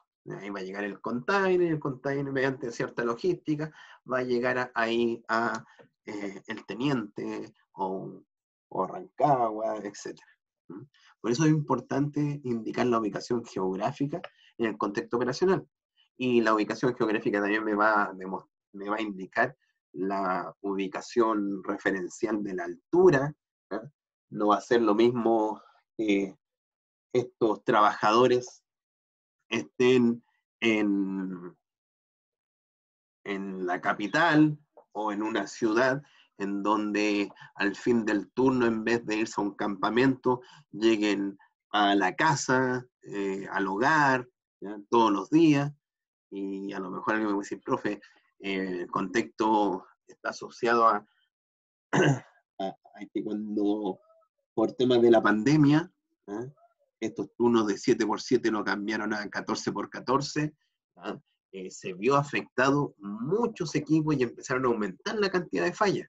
Entonces tengo que llevar planes de mantenimiento a ese contexto operacional, a este nuevo contexto operacional que tiene que ir sí o sí asociado a la pandemia.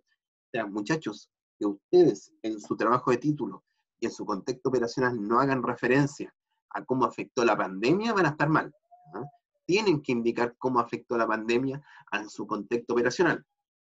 Profe, no me afectó en nada. Bueno, escríbalo e indíquelo, pero no lo deje sin comentar. Difícilmente no va a haber afectado, porque afectó por insumo o algo, algo pasó, obviamente.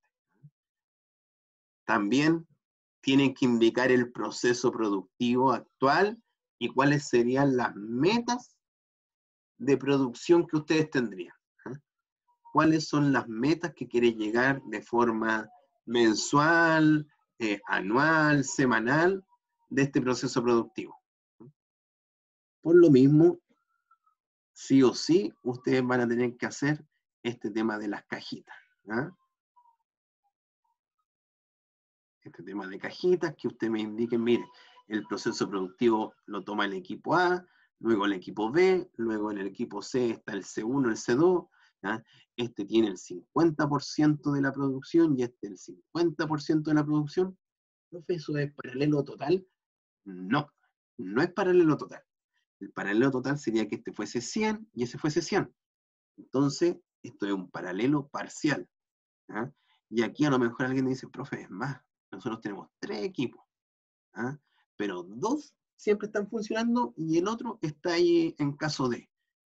Bueno, a lo mejor usted le va a tocar hacer este proceso, un plan de mantenimiento a esos equipos.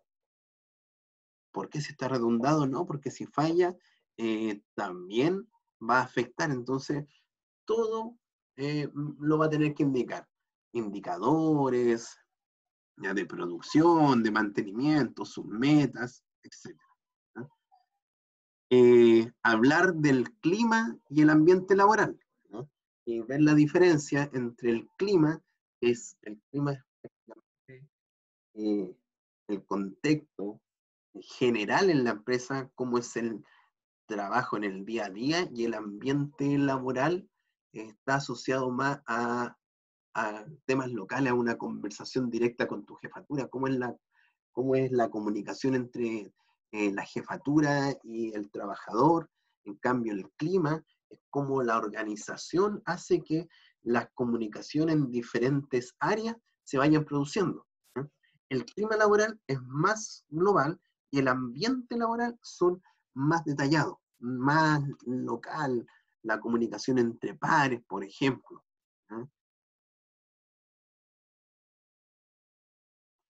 Como les comenté, el turno, cómo se trabaja en estos turnos, la disponibilidad de personal. Alguien me puede decir, profe, con el tema del COVID, la disponibilidad del personal bajó a un 50%, entonces se vio afectado algunos equipos que empezaron a aumentar la falla, etc.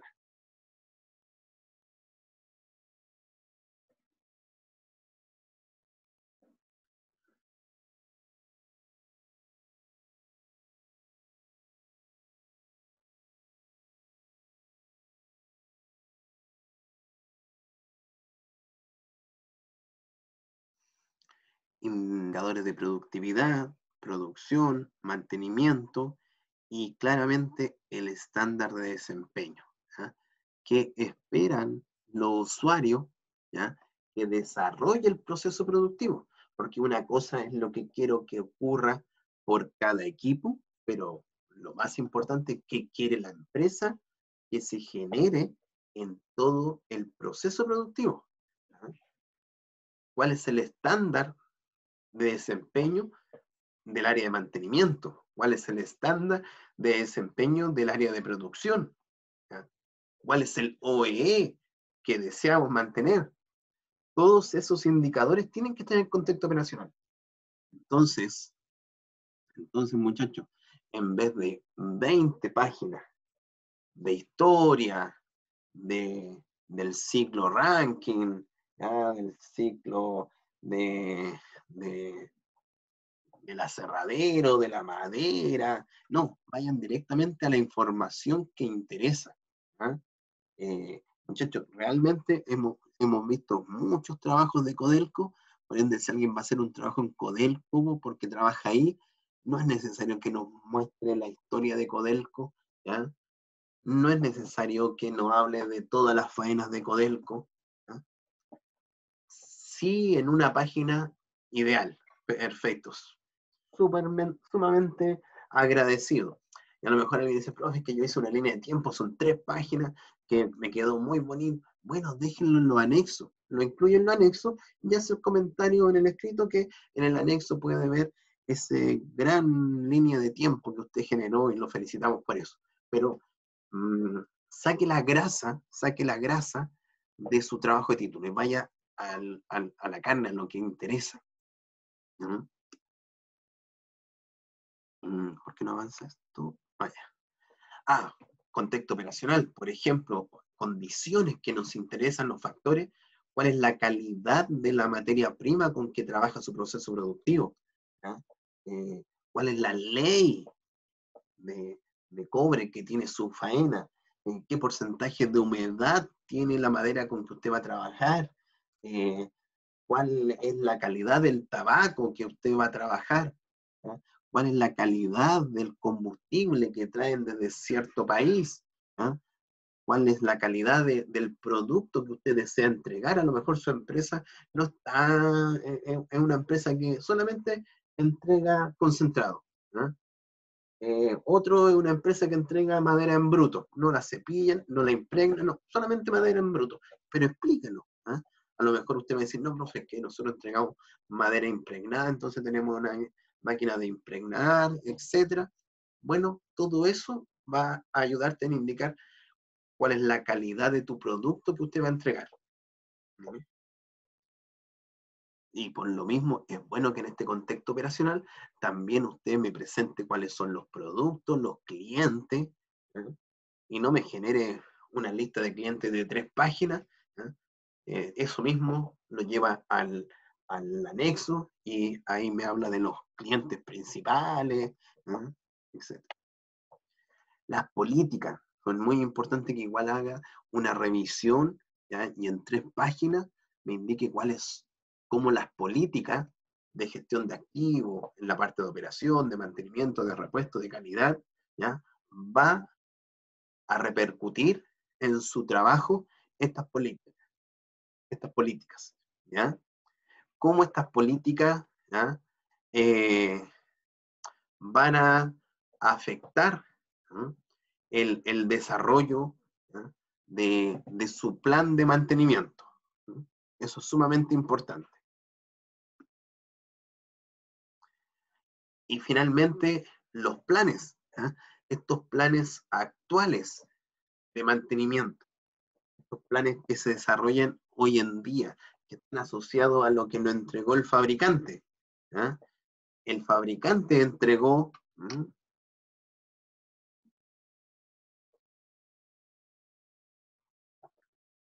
el fabricante entregó em, ciertas, ciertos trabajos, cierta ficha, cierta programación, cierta planificación, eso indíquelo porque ocurre mucho, ocurre mucho en los trabajos de título que el alumno llega y dice, bueno, eh, en, en, la empresa este equipo no tenía un plan de mantenimiento. Eh, no, no, no, no, no es que no tenía. Si lo tenía es otra cosa que no lo desarrollaba la empresa. ¿ah? La empresa no desarrollaba esas actividades, ¿ah? pero no es que no las tenga. Eso hay que entenderlo.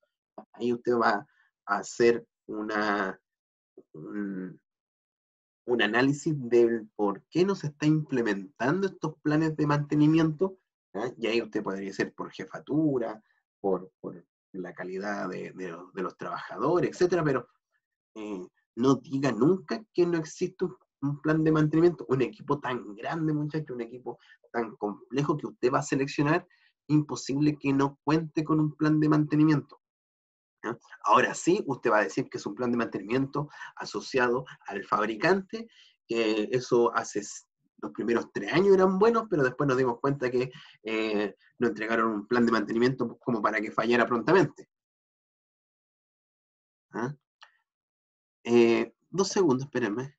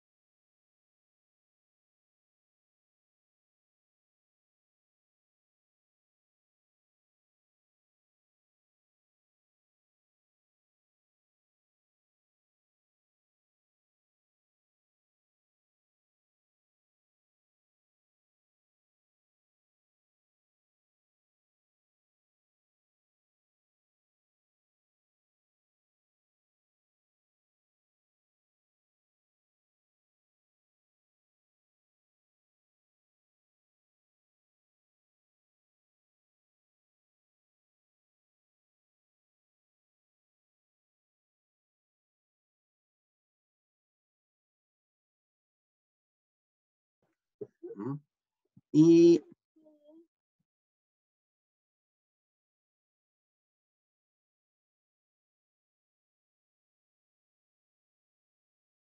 ya. Y las funciones. Vemos las funciones y nos vamos a un Ya. Entonces, como habíamos comentado, una vez que determinamos nuestro contexto operacional, más que determinarlo, muchas veces tenemos que presentar al lector el contexto operacional. ¿ah? Eh, no, deje, no dejen nada de lado de lo que, eh, de las condiciones que revisamos anteriormente, ¿ah? eh, no deje ninguna de esas cositas fuera, ¿ah? no deje ninguna de estas fuera cuando usted tenga que describir el contexto operacional. Si puede agregar más cosas que van a permitir mm, fortalecer más el contexto operacional, como por ejemplo, aquí no lo puse, pero el clima, el clima, el ambiente, si hay mucha polución, si hay mucha contaminación, si los, eh, los caminos, en qué, calidad de caminos vamos a tener. ¿ah? Em, ¿Qué más podría ser? Eh, la inclinación de los caminos, ¿ah? si son caminos pavimentados, si son caminos eh, de tierra, ¿ah? si hay muchos baches. como les comenté, la, contaminación, todo eso, usted lo tiene que agregar. ¿ah? Posteriormente, nosotros pasamos a lo que es la función, la función principal o las funciones primarias. Ojo, que un equipo no tiene por qué solamente tener un, una función principal. Van a haber equipos que van a tener una, dos, tres, cuatro, cinco funciones primarias. A diferencia de lo que van a, vamos a ver como funciones secundarias. Un, un, equipo que se caracteriza, por ejemplo, por tener funciones primarias invariadas, por ejemplo, una rotopala. Una rotopala, su función primaria eh, es la de trasladarse a ciertas velocidades, pero también tiene una función primaria que está asociado a la RPM que tiene que dar la rueda de capacho. Eh, además, este rotopala internamente posee una cinta transportadora, entonces también tenemos que cubrir las funciones primarias de esa cinta. ¿ah? Entonces, por ejemplo, vamos a encontrar tres, cuatro funciones primarias sin ningún problema, porque todas esas las tienen que cumplir. ¿ah? Y muchas veces mejor redactar todas, ¿ah? y, aparte, no todas juntas en, un gran, en una gran redacción de una función primaria. ¿ah? Entonces, siempre cuando le hablen de función, usted va a tener que pensar qué es lo que necesita de este sistema, qué es lo que necesita de este equipo, ¿Qué, qué quieres que sea capaz de desarrollar. Y finalmente, la razón principal de por qué este equipo existe. ¿Por qué? Por diseño lo dejaron ahí. ¿Qué es lo que tiene que hacer? ¿Mm? Eh, la SAE J1011 nos habla de que las funciones primarias están asociadas, y por lo mismo dice función primaria o funciones primarias. Las funciones que constituyen la razón principal por la que el activo físico es adquirido por los dueños o los usuarios. En cambio, las funciones secundarias, las funciones que un activo físico tiene que cumplir, aparte de sus funciones primarias, son aquellas que necesita cumplir por requerimientos regulatorios, por leyes, por decretos supremos, y están asociados a funciones de seguridad, de protección, de confort, de eficiencia energética, ¿ah? de, cuidado de la naturaleza, del medio ambiente, de la seguridad de los trabajadores. Esas son funciones secundarias. Por ejemplo, un, camión tolva de alto tonelaje tiene ciertas funciones primarias que las podríamos describir, pero también tiene funciones secundarias como el confort que tiene que tener el operador cuando maneja el equipo. Por lo mismo vamos a decir que tienen que tener una cabina hermética, libre de contaminantes, con un buen sistema de climatización, No vamos a hablar solamente de la calefacción ni del aire acondicionado, sino que de la climatización que tiene que tener este equipo. Entonces, es muy importante diferenciar lo que son las funciones primarias con las secundarias. Ojo, mm, pocas veces, yo, en los trabajos de, título que he visto asociados a, lo que es un plan de mantenimiento centrado en la confiabilidad, pocas veces los alumnos, eh, los estudiantes, eh, hacen referencia a las funciones secundarias. No hacen referencia a las funciones secundarias. Se enfocan solamente en las primarias. Totalmente importante, las primarias. Pero también puede usted asociar las funciones secundarias. Y es más, de, ustedes como ingeniero en mantenimiento, ya sin esta, esta, esta etapa de, ejecución, le vamos a pedir también que hagan todo un contexto asociado a las funciones primarias y a las funciones secundarias. Pero en esta clase vamos a enfocarnos más en las funciones primarias. Y por lo mismo, ah, la función primaria tiene que tener ciertos parámetros. ¿ah? Y esos parámetros están asociados a la velocidad, a la producción, a temperatura, a cargas, cargas máximas, a la calidad del producto, a cantidad de productos por tiempo específico, a presiones, a caudal, a cualquier parámetro, muchachos, que usted pueda desarrollar ese parámetro como un estándar de ejecución de desempeño. Si usted lo logra, va a estar totalmente eh, correcto en una buena función primaria. ¿Cómo lo va a redactar? ¿Cómo se tiene que redactar una función? Siempre inicie con un verbo ¿ya? En infinitivo, asociado a infinitivo a que termine en ar, er o ir. Por ejemplo, eh, moler, transportar, eh, comprimir. Ahí usted tiene un verbo en infinitivo. Segundo, un objeto. ¿Qué es lo que va a moler? Qué es lo que va a transportar, qué es lo que va a eh, comprimir. Comprimir, muchas gracias. ¿ah? Y el estándar de desempeño. ¿ah? Ese estándar de desempeño asociado a cuánto lo tenemos que comprimir, ¿ah?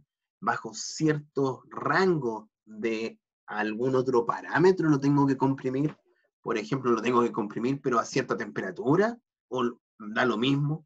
¿ah? Tengo que transportar esta carga ¿ah? de tantas toneladas, pero a qué velocidad, o da lo mismo. Ese el, estándar me lo va a decir. ¿ah?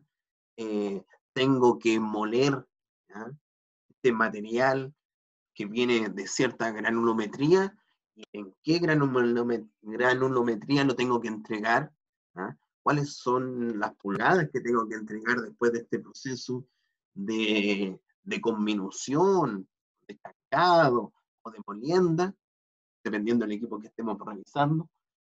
Esta madera eh, la voy a llevar a una etapa de hacer chip de madera.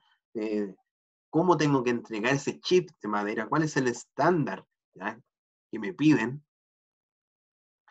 Ese va a ser una buena redacción. ¿ah?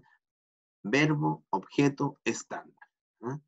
Y un ejemplo clásico, que lo puede realizar en varias literaturas, por ejemplo, el de una bomba.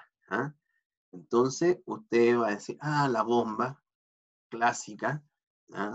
Vamos a, redactar entonces que la bomba sirve para transportar algo.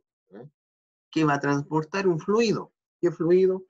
Un lodo anódico, eh, petróleo, eh, agua potable, lo que fuese. Eh, un licor negro, ¿qué es lo que va a transportar esa bomba?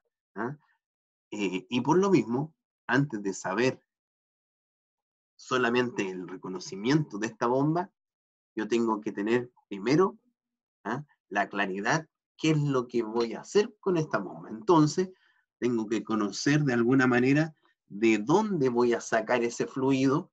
Ah, del estanque A. ¿Y a dónde lo tengo que llevar? Al estanque B. Profesor, no es el estanque A, lo mío es un pozo. Un pozo. Un pozo que está a 15 metros de profundidad. Y lo tengo que llevar a una copa, copa de agua que está a 10 metros de altura.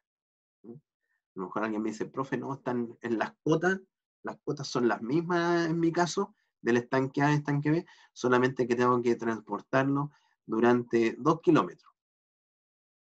Toda esa información usted la va a tener que entregar entonces cuando redacte. Entonces usted va a decir, eh, la bomba, la función principal de la bomba, va a ser eh, el transportar, transportar un fluido, ese va a ser su objeto del estanque A al estanque B a un caudal de 50 litros por segundo. Ese va a ser entonces su función principal. Por ende, si usted pone acá un caudalímetro, si usted pone un caudalímetro, ¿ah?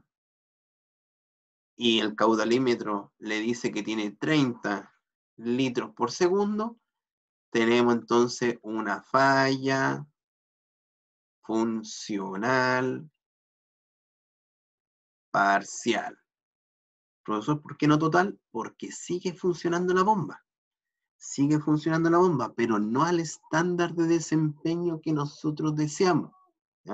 No está llegando a los 50 litros por segundo está llegando solamente a los 30 litros por segundo. Entonces voy a describir esa falla funcional y después voy a buscar los modos, modos de falla que están asociados a la falla parcial. Por ejemplo, la cavitación, ¿ah? La erosión, ¿ah? una fuga.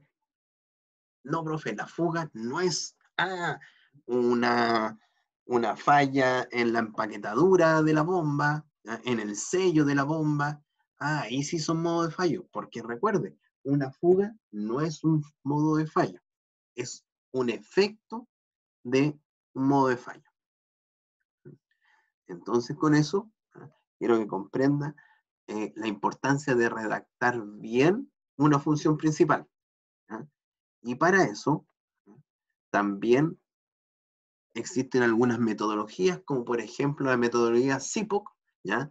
que está asociado, este es un acrónimo de las palabras en inglés que asocian entonces al proveedor, a la entrada, al proceso, a la salida y al cliente.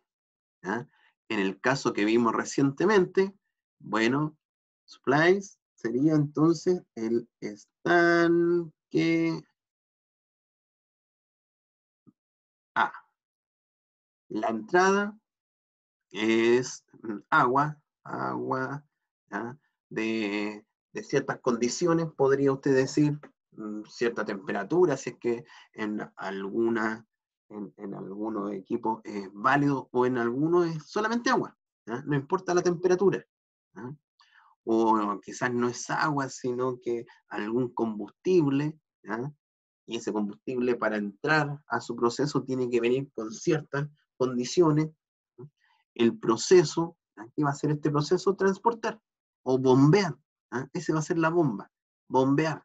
¿Qué va a ser su, su chancador primario? Su chancador primario va a recibir eh, mineral del de, el camión tolva, la entrada va a ser material con cierta granulometría, el proceso va a ser de chancado, ¿ah? la salida va a ser material de cierta granulometría, ¿ah? y el cliente, ¿quién, ¿quién lo, va, quién lo va a recibir? Bueno, el estanque ¿ah? B. ¿ah? Bueno, puede ser en vez del estanque B, puede ser el, una cinta transportadora, ¿ah? puede ser un, un chancador secundario. Entonces, por lo mismo, configure bien su proceso productivo para que cuando elijamos el equipo crítico, sepamos que tengo aguas arriba y que tengo aguas abajo, porque así le va a ayudar de sobremanera para poder desarrollar una buena redacción, una buena redacción de esta función principal, de esta función principal.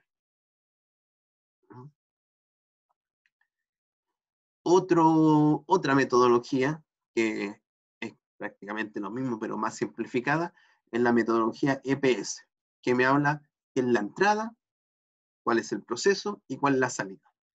¿Cuál va a utilizar? Va a depender mucho de su profesor, de su profesor guía. Si su profesor guía dice, mira, ¿sabéis qué?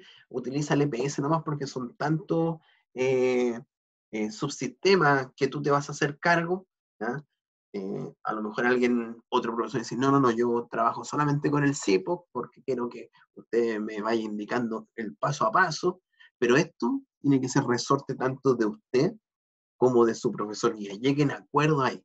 Por eso es buena una comunicación, una muy buena comunicación que tenga que tener con su profesor guía.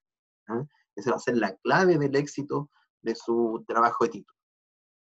¿Mm? Ya muchachos, ahora sí que nos vamos al break, ¿ah? para que volvamos después ¿ya? con el tema de eh, ya las fallas funcionales. Entonces voy a detener la grabación y creo que sí, son las 8.50. Así que, tal como habíamos dicho, eh, la metodología que van a utilizar para determinar la función principal va a estar muy aconsejada por su profesor. Ninguna es mejor que otra, va a tener que ser como lo va a defender finalmente. Posteriormente a que usted desarrolle esta función principal, tiene que determinar la falla funcional. Y ahí hay que tener el cuidado de no confundirse, que ocurre mucho, sobre todo en las defensas, y ahí hace que usted le bajen la nota, o que quizás si tienen muchas fallas, hasta se la rechacen. Es la diferencia entre lo que es una falla funcional y lo que es una falla potencial. Y la J1011 indica que una falla funcional, independiente si es total o parcial, ojo, independiente si es total o parcial, pero una falla funcional es un estado en que el activo físico no se encuentra disponible para ejercer la función específica a un nivel de desempeño deseado. Tiene que cumplir estas dos cosas. Tiene que encontrarse disponible y además en un nivel de desempeño deseado. Por ende, si no está cumpliendo el desempeño deseado, tengo una falla funcional, que le vamos a llamar una falla funcional parcial. Y si no se encuentra disponible, o sea, está detenido, vamos a llamarle una falla funcional total. Pero esa es una falla funcional, según la SAE J1011. Y una falla potencial es una condición identificable. O sea, la puedo identificar, puedo identificar esa condición que indica que una falla funcional está a punto de ocurrir o que está en proceso de ocurrencia. O sea, se está empezando a generar una falla funcional. Entonces, ojo, que, la, que el efecto de un modo de fallo nos va a ayudar a ir encontrando esa falla potencial. Si describo bien ese, ese efecto, ese síntoma, yo voy a poder encontrar de forma rápida una falla potencial. ¿Mm? Se define como falla la incapacidad de cualquier activo de hacer aquello que sus usuarios quieren que haga. Ese es una falla. Eso es falla. ¿Mm? Entonces, déjame hacer pasar a un compañero. Entonces, según John Mowbray, una falla funcional se define como la incapacidad de cualquier activo físico de cumplir una función según un parámetro de funcionamiento aceptable para el usuario. Entonces, muchachos, vuelvo al ejemplo que hablé delante. Si su equipo tiene 200 litros por segundo, no, no eran litros por segundo, eran kilogramos por hora como capacidad productiva, pero usted lo está utilizando solamente a 100 kilogramos por hora, ¿ah? está claro que el funcionamiento aceptable para el usuario es este. Independiente que el equipo sí puede generar más, pero el usuario quiere ese. Y si no cumple esos 100, ya puedo hablar de una falla funcional. La identificación de las fallas funcionales es la forma en que falla un activo en satisfacer las funciones primordiales y las expectativas del usuario. Saben hacer la falla funcional entonces, en la forma en que va a fallar un activo. ¿Mm? Son estados de falla que identifican los estados no deseados del sistema. Por ende, las fallas funcionales están en directa relación con las funciones que esperamos que el equipo desarrolle, lo que el usuario desea. Ejemplo de ello son como la incapacidad total de producir, eso va a ser una falla funcional total, porque estoy hablando de la incapacidad total. ¿ah? Aquí cuando hablamos de incapacidad total como ejemplo de una falla funcional, ¿ah? aquí estoy dando un ejemplo de una falla funcional total, porque aquí me habla de la incapacidad total del equipo. Y así usted lo tiene que redactar, de esa manera. Pero también podría generarse una falla parcial. El activo genera un caudal, pero a 70% de lo diseñado. Eso me está generando una falla funcional parcial. Quizá usted no va a poner un 70% claramente, pero va a decir una disminución del caudal requerido. Pero ya al no cumplir el 100%, estamos hablando ya de una falla funcional parcial.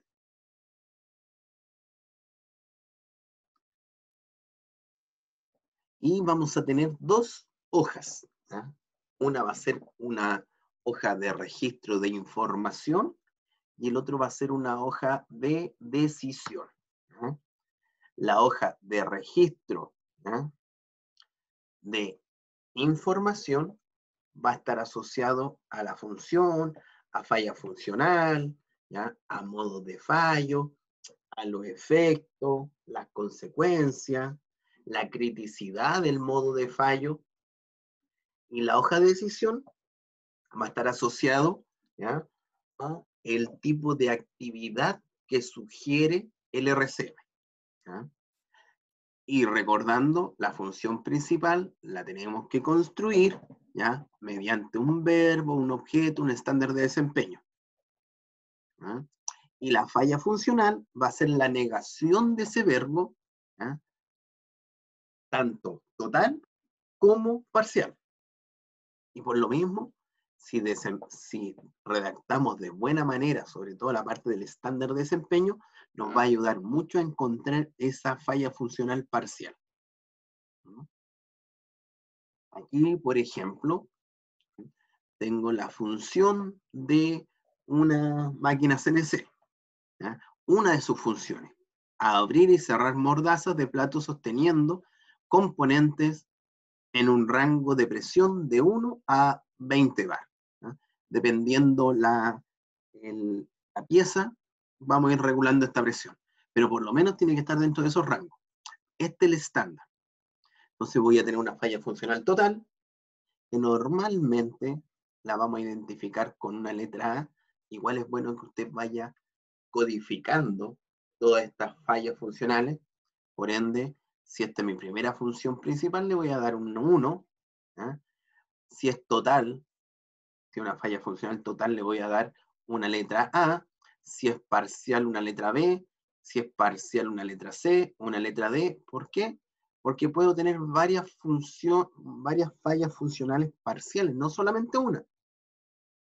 Va a depender mucho cuántos parámetros vamos a dejar como función principal. ¿ah? Si tengo, además de que sea a tanto bar, además tiene que estar a tanta temperatura, ¿ah? o tantas condiciones eléctricas, ¿ah? o tanto amperaje, ¿ya? estoy agregando más parámetros que esos parámetros me podría llevar que el equipo no los cumpla. Entonces a lo mejor puedo llegar a un momento en donde voy a tener una falla funcional que sí se está cumpliendo cierta condición, pero la otra no sí me está generando la temperatura, pero no la presión recomendada. O, la presión eh, de un buen desempeño. Pero por lo mismo, tengo que ir analizando cada eh, función principal que usted va a describir.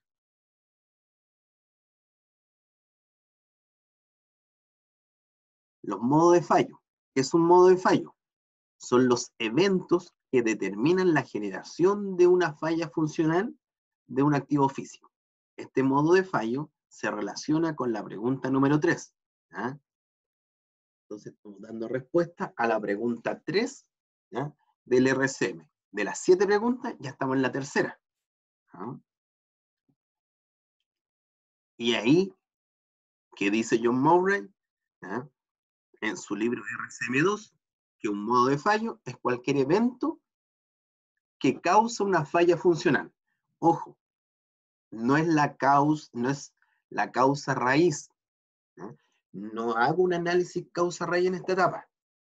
Aquí busco el modo de fallo y después yo puedo ver la causalidad de este modo de fallo, pero todavía no. Aquí voy a determinar qué fue lo que ocasionó la falla funcional. ¿Por qué el equipo no es capaz de levantar cierta carga. Ah, profe, porque eh, se, se reventó un sello del cilindro hidráulico. Eso me va a generar entonces una falla funcional, dado por este modo de fallo. La redacción de un modo de fallo es muy importante que sea muy concisa y precisa. No tengo que dar mucho desarrollo. ¿ah? Entonces aquí sí que la estructura es un sustantivo y después el verbo. Eh, como por ejemplo, eh, filtro obstruido, ¿ah? eh, eje con fisura, bobina quemada. Y lo otro, trate de no abusar de expresiones como rotura y sobre todo falla. Porque cuando usted ya se queda sin idea, normalmente pone, ah, falla de batería, ah, falla de rodamiento, modo, eh, como modo de fallo, eh, fallo de circuito eléctrico. No, si va a hablar de del el rodamiento indique qué fue, si, si se va a fracturar eh, la jaula, si hay un piquete dentro de la pista, si hay un agripamiento debido a que se solidificó, solidificación de grasa de rodamiento, ahí tiene un modo de fallo. Pero si pone falla, falla, falla, falla de esto, falla de esto otro, falla de esto, me permite poca maniobrabilidad para después ir generando actividades de mejora para mis modos de fallo. Entonces, no, no abusar. O sea, puede haber una, puede haber dos, puede haber tres roturas, puede haber una, dos, tres, cuatro, cinco fallas, pero que de las, no sé, pues de las 50 fallas que usted va a encontrar, que no sean 48 que partan con fallas de, fallas de, fallas de. Y ahí obviamente los profesores le van a decir, oye, eh, sea más explícito en el, en el desarrollo de este modo de fallo. Entonces ahí va un sustantivo, después el verbo. Y el verbo no va en infinitivo, ojo. No es como la función principal, que ahí sí va en infinitivo. Entonces, independiente de lo que usted vaya a desarrollar, un activo o un gran componente de un gran activo, usted le va a aplicar un, RCM a este filtro estático que son estos 100 eh, metros de, de, la, de tela, de los martillos que le van pegando, de un motor, todo eso se llama filtro estático. Ese va a ser el componente de una unidad ¿ya? en una termoeléctrica. ¿Mm? Entonces, una vez que usted ya sabe a qué activo, qué componente va a ser, tiene que determinar la función del activo o del componente o del subsistema. A lo mejor usted va a hacer el, el RCM del sistema hidráulico. Bueno, englobe todo el sistema hidráulico y busque la función del sistema hidráulico. Una vez que lo determine, esta función me busca entonces los fallos funcionales, que va a ser un modo de fallo A, un modo de fallo 2A, 3A, 4A, 5A, no sé cuántos modos de fallo usted va a encontrar asociado a una falla funcional total. Puede encontrar una, dos, cinco, y por lo mismo ahí con el equipo de trabajo tiene que buscar una cierta cantidad. Pero me dice, profe, ¿cuál es una buena cierta cantidad? Eh, difícil darle esa respuesta. ¿ah? Va a tener que ver ahí las condiciones, el equipo. ¿ah? Eh, va a tener que hacer un trabajo, no, no hay una receta para esto. También va a buscar fallos parciales. ¿ah? Yo les dije que ponga una letra B, una letra C, dependiendo qué tan potente es esa función, cómo quedó redactada esa función del activo. Ahí, nuevamente, va a tener modos de fallo para aquellos. Un modo de fallo parcial, un modo de fallo parcial 2, un modo de fallo parcial 3 para ese fallo funcional parcial. ¿Mm? Identificar los más probables que puedan ocasionar cada falla funcional. Debe ser aceptado por el usuario, los modos de fallo. Ojo, ¿ah?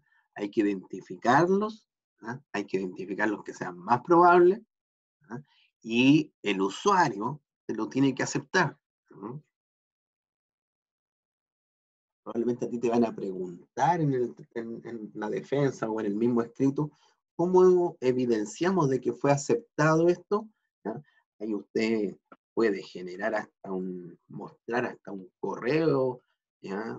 de un email, que indique ahí la, por parte de la jefatura que están conforme con el trabajo realizado y se aceptan este, estos modos de fallo, este trabajo. Eso ya le va a llevar a que el usuario eh, lo ratifica, que eh, encontró ahí modo de fallo hace un año y medio atrás aproximadamente, desarrollamos un trabajo de título de, un RCM a un bus. ¿ah?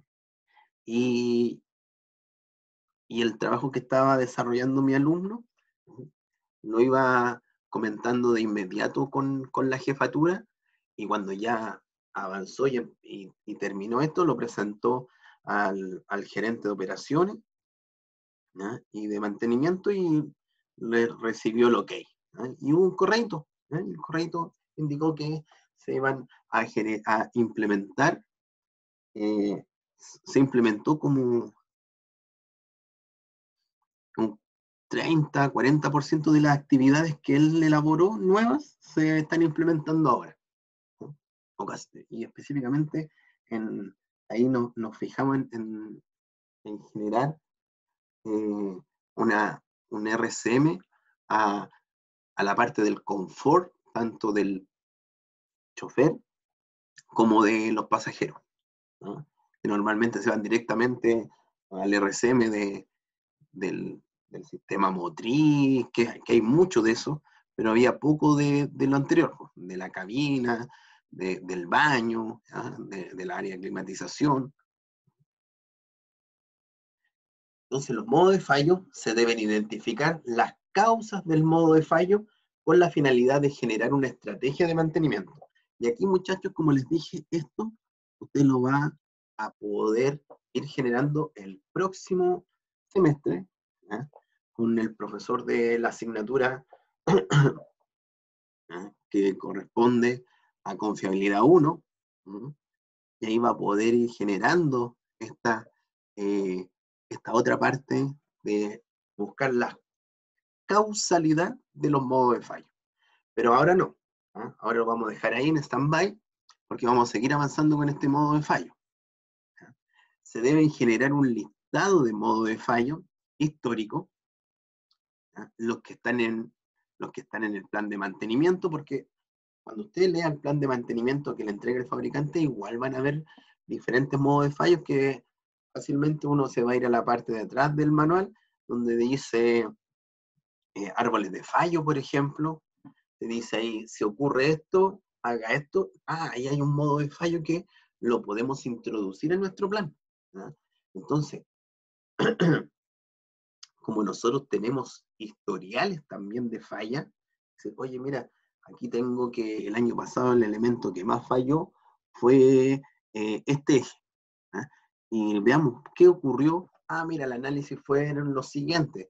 Normalmente era un desbalanceo del neumático que afectaba al eje, entonces ahí nosotros podríamos empezar a hacer todo ese operación rastrillo para ir buscando los modos de fallos históricos los que están en el plan de mantenimiento del fabricante, los posibles modos de fallo que todavía no han ocurrido, pero que existen una probabilidad de que ocurran.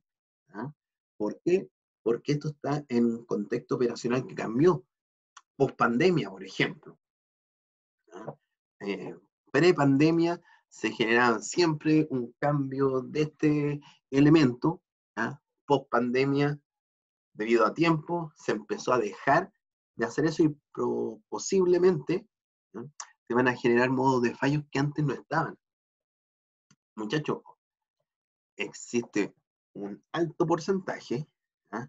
de que los trabajos de título que ustedes vayan a hacer, ¿ah? lo que usted podría hacer hasta un comparativo en, la presentación, esto es lo que teníamos como manual de mantenimiento y esto es lo que levanté yo porque con el tema de la pandemia ya se dejaron de hacer muchas cosas y se generaron estos problemas. Ahí tiene un sinfín de actividades que podría levantar. Obviamente, obviamente, introduciendo esta condicional de la pandemia. Entonces, en el contexto operacional, no necesito que me hable 20 páginas de la, del COVID-19. Sino que como el COVID, ya todos sabemos que dónde partió, todos vemos las noticias, cuántos fallecidos van, pero lo que queremos ver ahí, cómo esta pandemia afectó al área de mantenimiento y cómo esta pandemia afectó directamente al equipo que usted está analizando.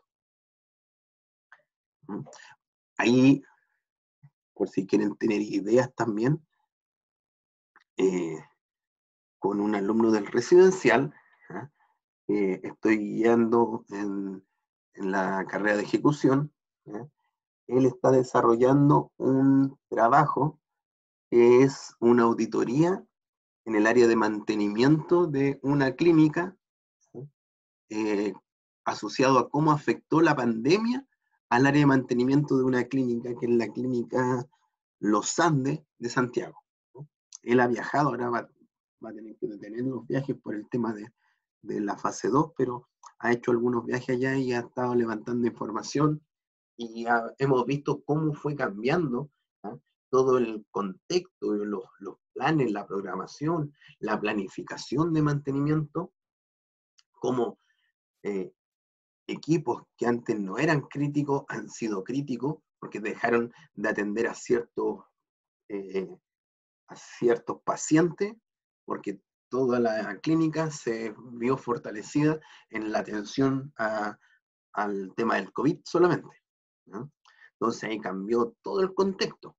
Y eso lo está llevando en su trabajo y lo está explicando y lo va a demostrar ahí. Entonces ahí tienen ideas también que ustedes pueden incluirlo en el día a día de lo que están haciendo ustedes en su trabajo. Además, se deberá incluir eventos que puedan ser causados por el deterioro, por el diseño, por errores de operación. Un modo de fallo puede ser por eh, errores de operación, de mantenimiento. Todo esto en el contexto operacional. Entonces, siguiendo el tema de la función, seguimos la falla funcional total, una falla funcional paral. Aquí, por ejemplo, tenemos tres modos de fallo asociados a la falla funcional total y dos modos de fallo asociados a la falla funcional parcial. ¿Mm? Entonces, solenoide de válvula direccional del plato defectuoso y esto impide que eh, la máquina CNC pueda cumplir una de sus funciones, que es abrir y cerrar las mordazas para sostener un, e, un componente con cierto rango de presión. Porque me genera una falla total. Y así usted va a ir enumerando, enlistando los diferentes modos de fallo. Y le puede dar un código. Usted ya sabe ya que este modo de fallo va a ser el 1A1. Este va a ser el 1A3. Este va a ser el 1B2. Entonces, en su contexto, con sus trabajadores, con su equipo, siempre que escuchen la letra A en un modo de fallo, ah, eso me lleva a una falla total. Si escuchan B o C en el código, ah, es una falla parcial. Podemos clasificar los modos de fallo. Entonces, podemos clasificarlos según su capacidad de funcionamiento cuando está por debajo de lo requerido por el usuario. Y ahí tenemos algunas clasificaciones asociadas, como el deterioro, la falta de lubricación o el exceso de lubricación, porque muchas veces los modos de fallo pueden ser por un exceso de lubricación, por suciedad, por errores humanos. Ahora, esto obviamente llévelo a, la redacción de un modo de fallo. Por ejemplo, solidificación de la grasa de un rodamiento. Ahí puede haber un modo de fallo que está asociado obviamente a la lubricación. Otro tema, que el, activo haya funcionado por encima de la capacidad. Y eso está asociado a una sobrecarga, que puede ser una sobrecarga no intencional como intencional. Eh, puede ser una sobrecarga constante, sistemática o eh, repentina. Fue un momento que hubo una sobrecarga, eh, no fue deliberado, ¿ah? o sea, fue deliberada y, por lo mismo trajo este problema. Y lo podemos transformar en un modo de fallo. Recuerde, los modos de fallo son fallas, son modos de fallos que se han dado de forma histórica, que pueden también usted encontrarlo en los manuales, pueden también ser modos de fallos que no se han dado, pero usted sabe que con este contexto operacional se podrían dar. Usted sabe que este equipo que, su empresa tiene en diferentes faenas han tenido buenos comportamientos en diferentes faenas, pero justamente en esta faena de acá, que es más agresiva, que es más compleja, yo hace como dos semanas, tres semanas, Fui a Alto Maipo por un, estudio de, de unos equipos eh, asociado a unos pernos y, y, el Alto Maipo hasta, hasta donde está una cascada bien bonita, es un camino bonito y lindo, pero para arriba se hace un camino extremadamente complejo, con inclinaciones, con baches, con eh, muy, muy agresivo. A eso súmele la nieve en, invierno, eh, con mucha, mucha polución. Todo eso me va a llevar a decir, oye, estas condiciones no, no las tenía. Entonces tengo que generar estos modos de fallo para esa condición. Y, como les dije, posteriormente, usted en su trabajo de título puede tomar los modos de fallo, los que sean más eh, críticos, y hágale un análisis causa-raíz. Busque la causa física, humana, latente, de cada modo de fallo crítico. Entonces usted va a hacer un RPN y todos los que le queden en rojo, además de generar un, actividades asociadas al RCM, a la hoja de decisión, también va a buscar la causa raíz. ¿Para qué? Para que ataque ese modo de fallo desde la raíz, de lo que está dejando de hacer la empresa o lo que está haciendo mal la empresa. Pero no quiero dar ahí más antecedentes para que no se confunda. Eh, nosotros probablemente nuestro certamen, ¿ya? ¿qué vamos a hacer? Le vamos a dar un equipo, ciertas condiciones y usted va a tener que hacer un trabajo de generar un RCM. Y cuando busque el modo de fallo, no, me no se ponga a buscar el análisis causa-raíz, porque se va a hacer para el próximo semestre. Bueno, vamos a esto. Genere el modo de fallo y empieza a buscar los efectos, que va a ser lo que vamos a ver a continuación, una vez que pasemos a la cuarta pregunta del RCM. Recuerde que estamos en la tercera pregunta del RCM.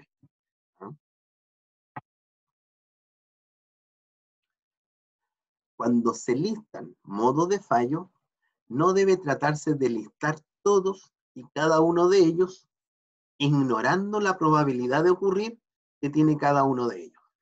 Eso lo decía John Mowbray, y es más, ahora nosotros no solamente vamos a asociar la importancia de la probabilidad de ocurrir, sino también de la severidad que puede tener este modo de fallo y también de la capacidad que tiene el sistema para detectar una falla, o específicamente un modo de fallo.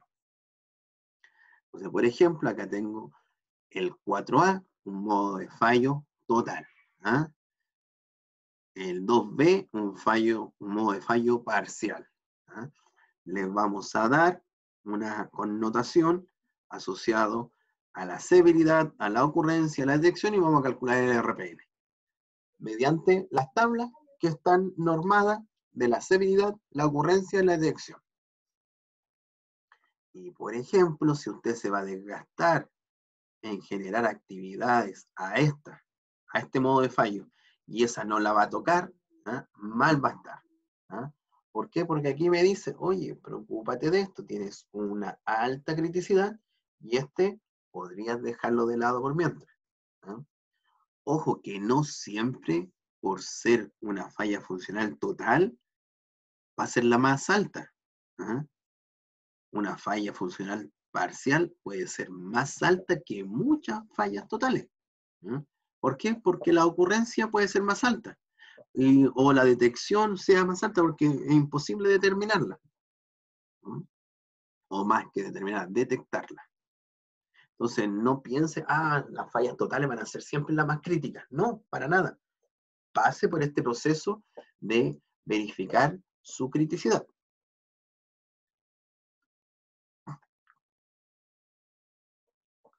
La pregunta 4. Efecto de una falla. ¿Ah?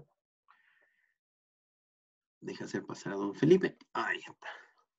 Entró don Felipe. Sí, está entrando don Felipe. Entonces, ya tenemos la función principal dentro de este contexto operacional. Buscamos las fallas funcionales que podrían afectar a la incapacidad de generar esta función principal. Por cada falla funcional, sea total, sea parcial, sea otra parcial, sea otra parcial, ¿ah? vamos a ir buscando diferentes modos de fallo. Posteriormente, a cada, a cada modo de fallo, vamos a buscar el efecto de ese modo de fallo. Entonces vamos a buscar el efecto de la falla. Los efectos de la falla describen qué pasa cuando ocurre un modo de fallo. Una alta vibración, una fuga de vapor, una fuga de aceite, una alza de temperatura, una disminución en la velocidad. El efecto da respuesta a la pregunta 4.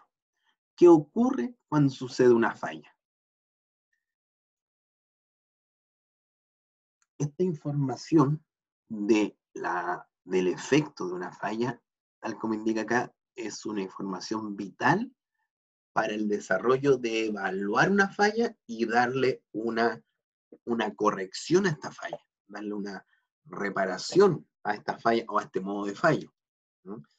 Eh, la, la descripción de un buen efecto de una falla nos va a permitir lograr que una falla potencial no se vaya a transformar en una falla funcional. Si nosotros describimos de buena manera un efecto, vamos a generar solamente fallas potenciales y vamos a detener esas fallas potenciales. ¿ah? No, vamos a lograr, no va a lograr esa falla potencial cambiar a ser una falla funcional parcial y posteriormente una falla funcional total.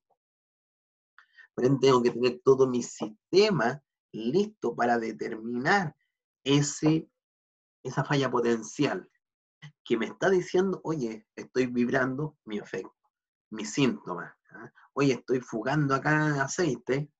Oye, está aumentando la temperatura. Oye, tengo una vibración extraña, tengo un ruido extraño. ¿ah? Deben describir lo que pasa ¿ah? o pasaría cuando la organización no realiza actividades de prevención o detección de una falla. ¿ah? Entonces, por ejemplo, acá tengo un código de un número de fallo, y pregunto si es evidente o no, ahí me dice que sí es evidente ese modo de fallo, la descripción del evento, ¿ah? el síntoma, eh, ruido excesivo y detención de manera inmediata del componente, ¿cómo lo podemos detectar? Por los ruidos anormales del sistema. ¿ah? El síntoma, vibración excesiva y detención de manera inmediata del componente. ¿ah? Eh, detección, vibración anormal en el reductor. Aquí está una descripción, es bueno que usted describa el evento, describa lo que, está, lo que pasaría o lo que pasó, Recuerde que son modos de fallo que pueden ser históricos, por lo mismo usted ya tiene información de lo que ocurrió, o a lo mejor te lo dice el mismo fabricante. Y ahí usted redacta lo que indica el fabricante en su plan de mantenimiento.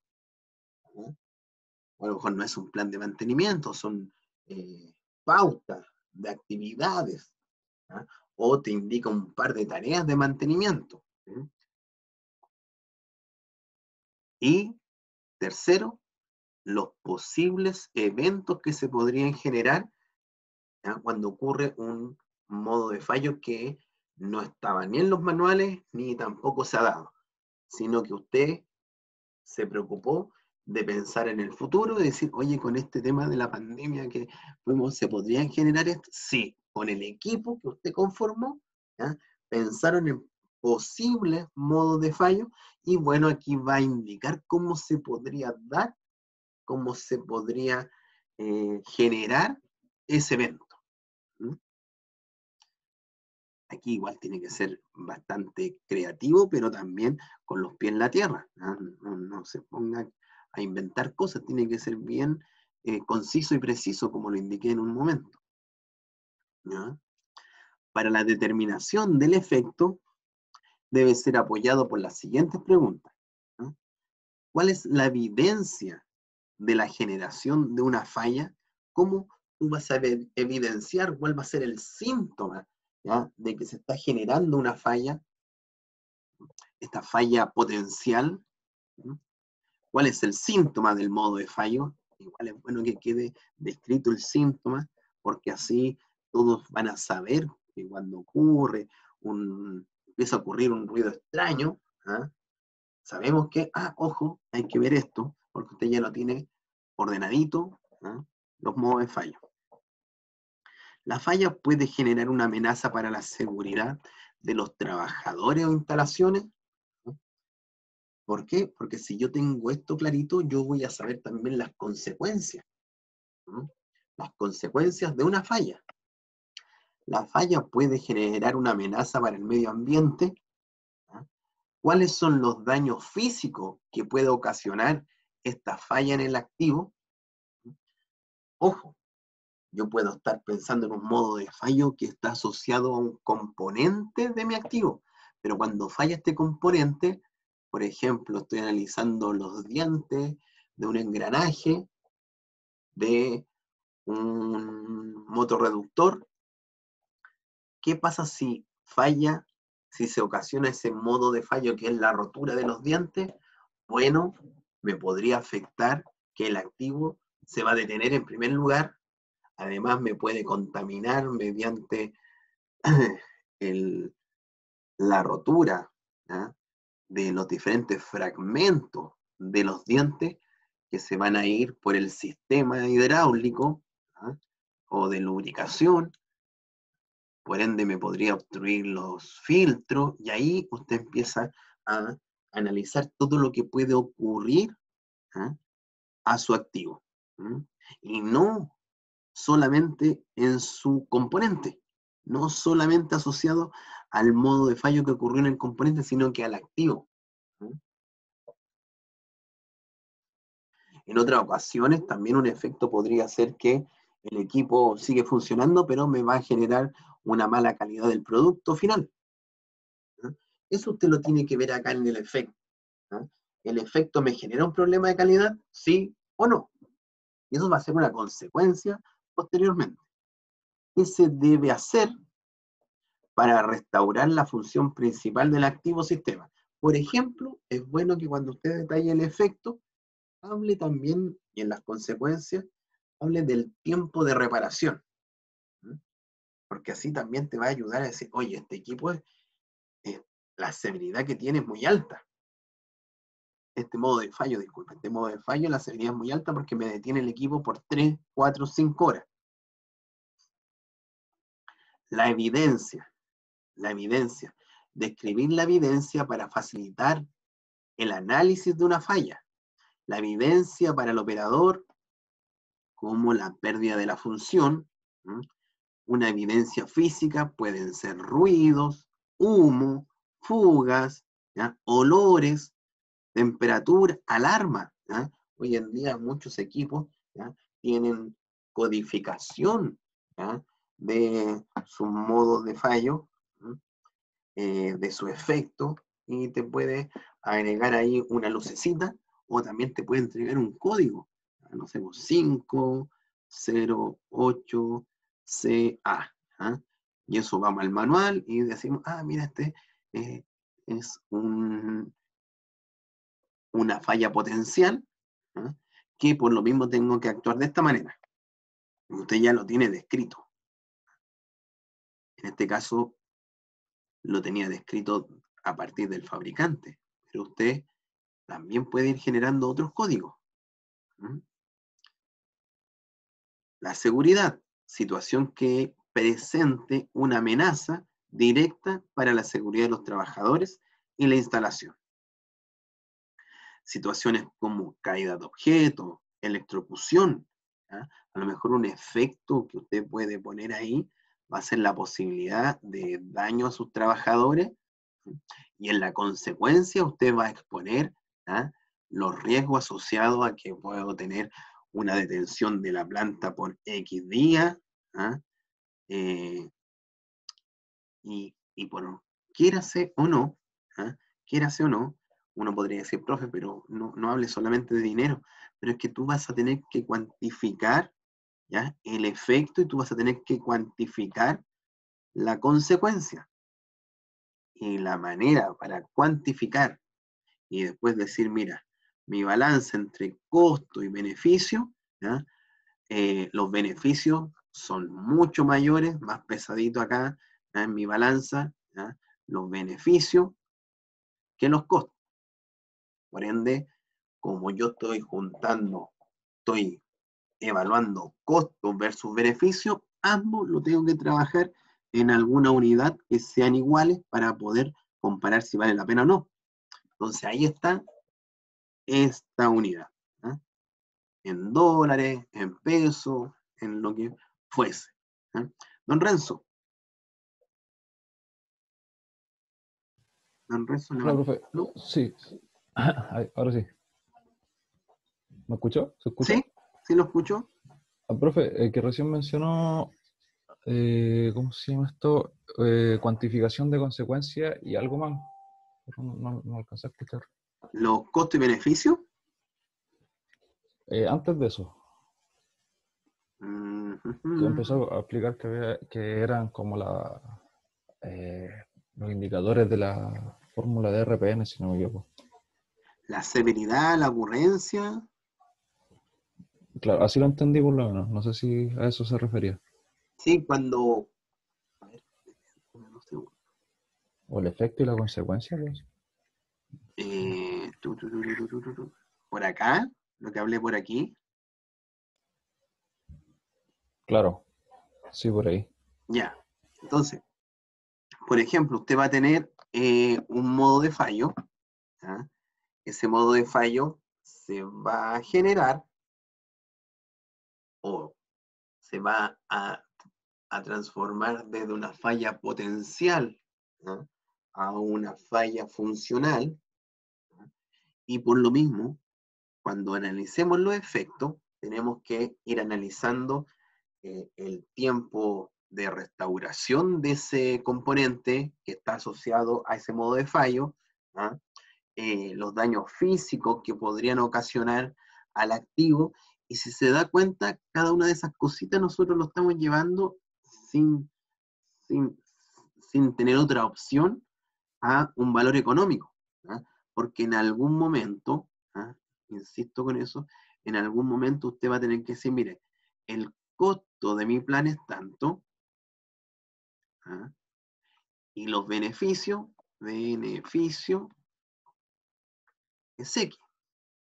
Yo espero que mi beneficio sea mayor. Entonces lo voy a poner acá en una balanza ¿ah? y espero que los beneficios sean más altos que los costos. Por ende, como los beneficios son mayores, porque cuando empecé a analizar los posibles efectos y consecuencias que me podría traer mi modo de fallo, me di cuenta que me podría traer una amenaza al medio ambiente. Eso va a significar que va a venir eh, el CERNIAFOMIN o el Ministerio de, Medio Ambiente y me va a decir, ¿sabe qué? Usted va a tener que cerrar su empresa por X días hasta que, ¿ah? o a lo mejor una empresa que está contaminando eh, de forma constante a una comunidad aledaña, la comunidad aledaña va a decir, no, llegamos hasta aquí y se toman los caminos, hay enfrentamientos, y cosa que la planta no va a poder funcionar ¿ah? de una manera para poder generar el, recurso. ¿ah? Todo eso usted llévelo a un dinero, ¿ah? porque si nosotros mediante ese plan de mantenimiento vamos a hacer que los beneficios sean mayores, porque ahora ya la empresa no va a tener que pagar multa, ya no va a tener que cerrar, son solamente ganancias. Todo eso usted lo puede cuantificar, trate de cuantificar eso. Sé que va a ser difícil, pero usted es un ingeniero, ¿ah? va a ser un posible ingeniero y además que va a estar apoyado por un profesor guía y también usted no va a tener que trabajar esto solo. Esto, insisto, en su trabajo va a tener que convencer a alguna jefatura de la importancia de esto. Entonces muchas veces usted va a tener que presentar esta idea no solamente a su profesor guía, sino que va a tener que presentarle a la empresa para que la empresa le diga, sí, estoy de acuerdo, lo apoyamos, creemos en usted, siga adelante y, le vamos a abrir las puertas para toda la información que usted requiere. ¿ah?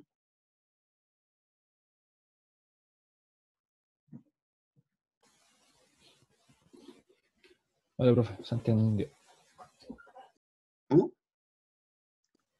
No, no, que gracias, que se entendió la, Ya, la respuesta. perfecto. Entonces, por ejemplo, si un efecto de una falla podría conllevar a que un trabajador se me vaya a caer, que un trabajador eh, se vaya a electrocutar, o que exista la posibilidad de una explosión, de un colapso de una estructura, ¿ah? eso también lo tengo que cuantificar. ¿ah? Porque si lo cuantifico, ¿ah? me va a generar una facilidad para decidir qué actividad de mantenimiento es más adecuada. Porque van a haber actividades de mantenimiento que son más costosas y otras más económicas. Pero normalmente quizás esa económica me trae pocos beneficios, en cambio esta costosa me trae unos grandes beneficios. Y eso lo tengo que ir evaluando. ¿ah? Em, ahí viene una fuga ¿ah? De un elemento, de un este era una especie de, lodo anódico que reventó una cañería y que obviamente cayó acá en, la, en el pequeño estero, ¿ah? que posteriormente este, eh, uno de los brazos del río Blanco, ¿ah? y, obviamente es un efecto del medio ambiente. Obviamente los vecinos, las comunidades, si presentan eso, están en todo, van a estar en todo su derecho de ir a reclamar, de ir a generar que la empresa se haga responsable.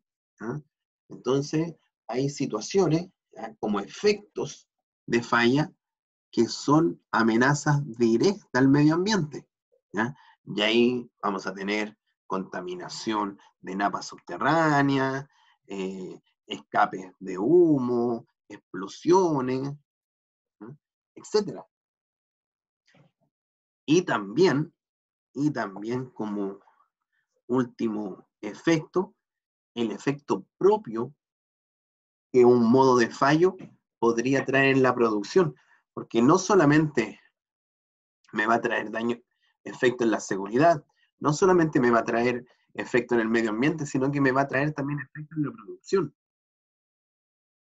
Por ejemplo, me podría detener la planta, un modo de fallo que se genere, que partió como una falla potencial, luego una falla funcional parcial y posterior una falla total, me va a poder generar una detención de la planta.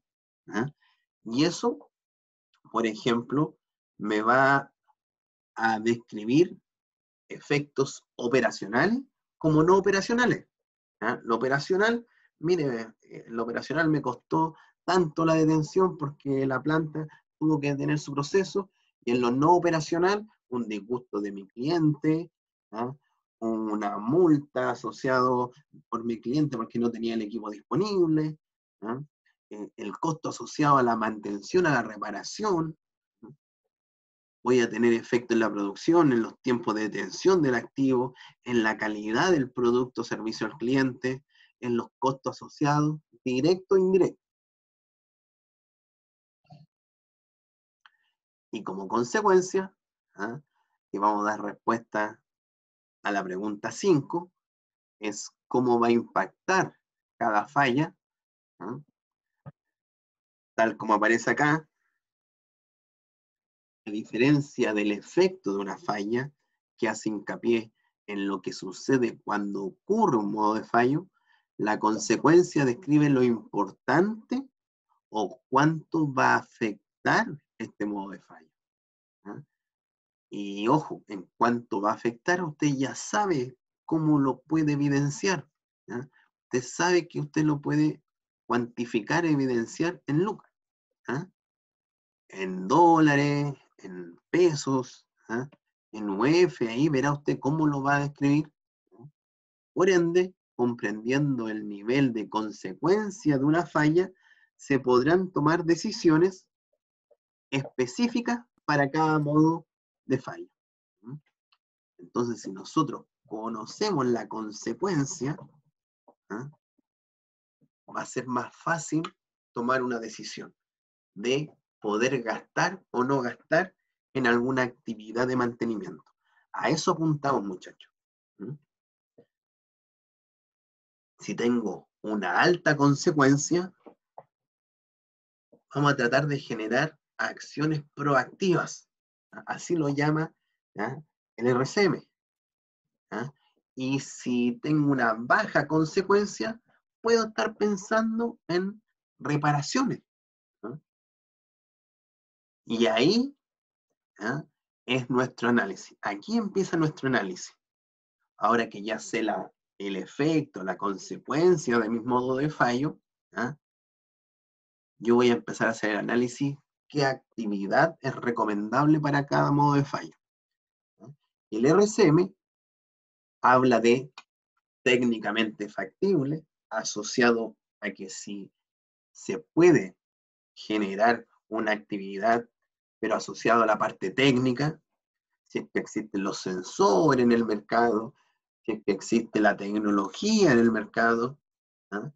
si es que es posible hacer este rediseño ¿ah? técnicamente, pero también se hace cargo de la parte económica. Y la parte económica le llama ahí merece la pena. ¿ah? Así hace referencia al RCM cuando habla de la parte económica, si merece la pena o no. Aquí yo tengo mi parte técnica y acá tengo mi parte económica. Una tarea proactiva merece la pena si reduce las consecuencias del modo de fallo asociado a un grado tal que justifique los costos directos e indirectos de hacerla. ¿Cómo es eso?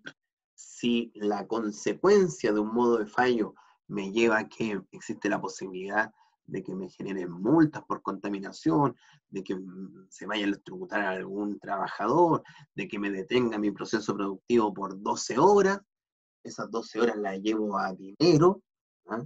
esa multa obviamente me la van a indicar en dinero, ¿ah? y ahí yo digo, mira, entonces, para este modo de fallo, sí vale la pena, ¿ah? sí vale la pena generar una actividad proactiva. Y usted tiene que evidenciar eso. Tiene que, por cada modo, de, por, por lo mismo, muchachos, cuando usted vaya a hacer el RCM, no piense que va a ser el RCM de toda la planta. Por lo mismo, hay que elegir bien el equipo que va a ser. Y por lo mismo, si este equipo tiene muchos subsistemas, es válido que usted se haga cargo de uno, dos, tres subsistemas, eso lo va a manejar con su profesoría. Pero para cada, para cada modo de fallo, usted analice económicamente. ¿Vale la pena analizar esa, ese modo de fallo y su consecuencia económicamente, porque así tú vas a decir, ah, la balanza de los beneficios es más pesadita, por ende se carga la balanza hacia acá y los costos independientes, cuánto me salga, sé que vale la pena desarrollarlo. Entonces, como dijimos, el RCM, cuando habla de técnicamente factible, si es posible encontrar una tarea o actividad físicamente posible y que reduzca la consecuencia del modo de fallo. Y merece la pena, en caso que sea positivo, la posibilidad de la tarea anteriormente analizada técnicamente, debemos analizar si la reducción de la consecuencia justifica el costo directo e indirecto. Costo directo, mano de obra, insumo, etc. Y los costos indirectos, la multa, la detección, la mala calidad de un producto, ¿ah? etc.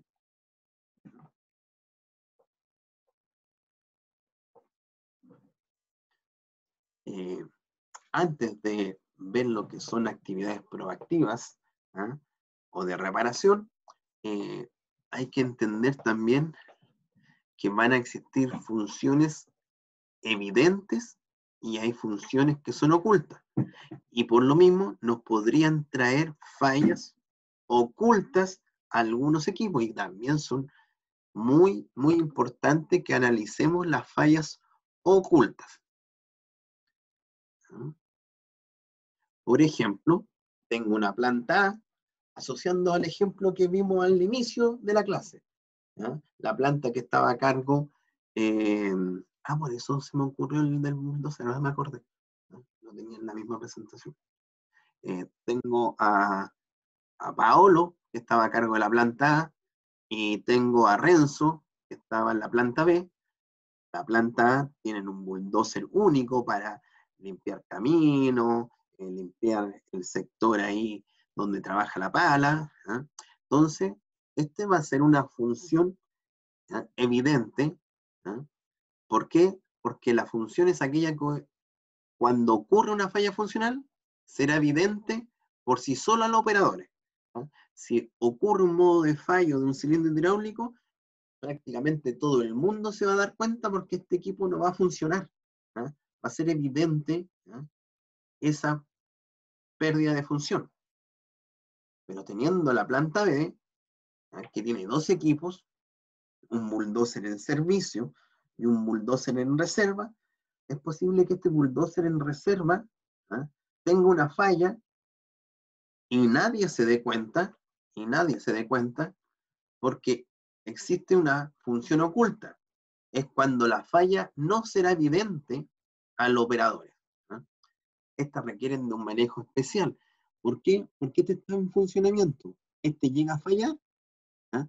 y vamos a ir a buscar el bulldozer de reserva y como nadie se preocupó de él durante dos semanas que este no había fallado, ¿ya? quedó ahí y fue eh, las condiciones climáticas ya fueron generando un agripamiento en algún sistema, fue el exceso de temperatura, solidificó alguna grasa por ahí, cosa que cuando lo quisimos echar a andar, no partió. Y es difícil entender esto, es difícil eh, determinar las condiciones del equipo en reserva. Entonces, eh, John Mowbray le da tanta importancia a esto porque mm, en muchas empresas hay sistemas de seguridad que no son tratados como deberían ser. No son analizados, no son evaluados y cuando necesitamos que se activen, no están. Por ejemplo, un sistema contra incendio, ¿ah? una pequeña válvula de seguridad, nadie se preocupa de esa función oculta que tiene esa válvula de, seguridad, y cuando la necesitamos, tiene una falla. Entonces, como consecuencia, ¿ah?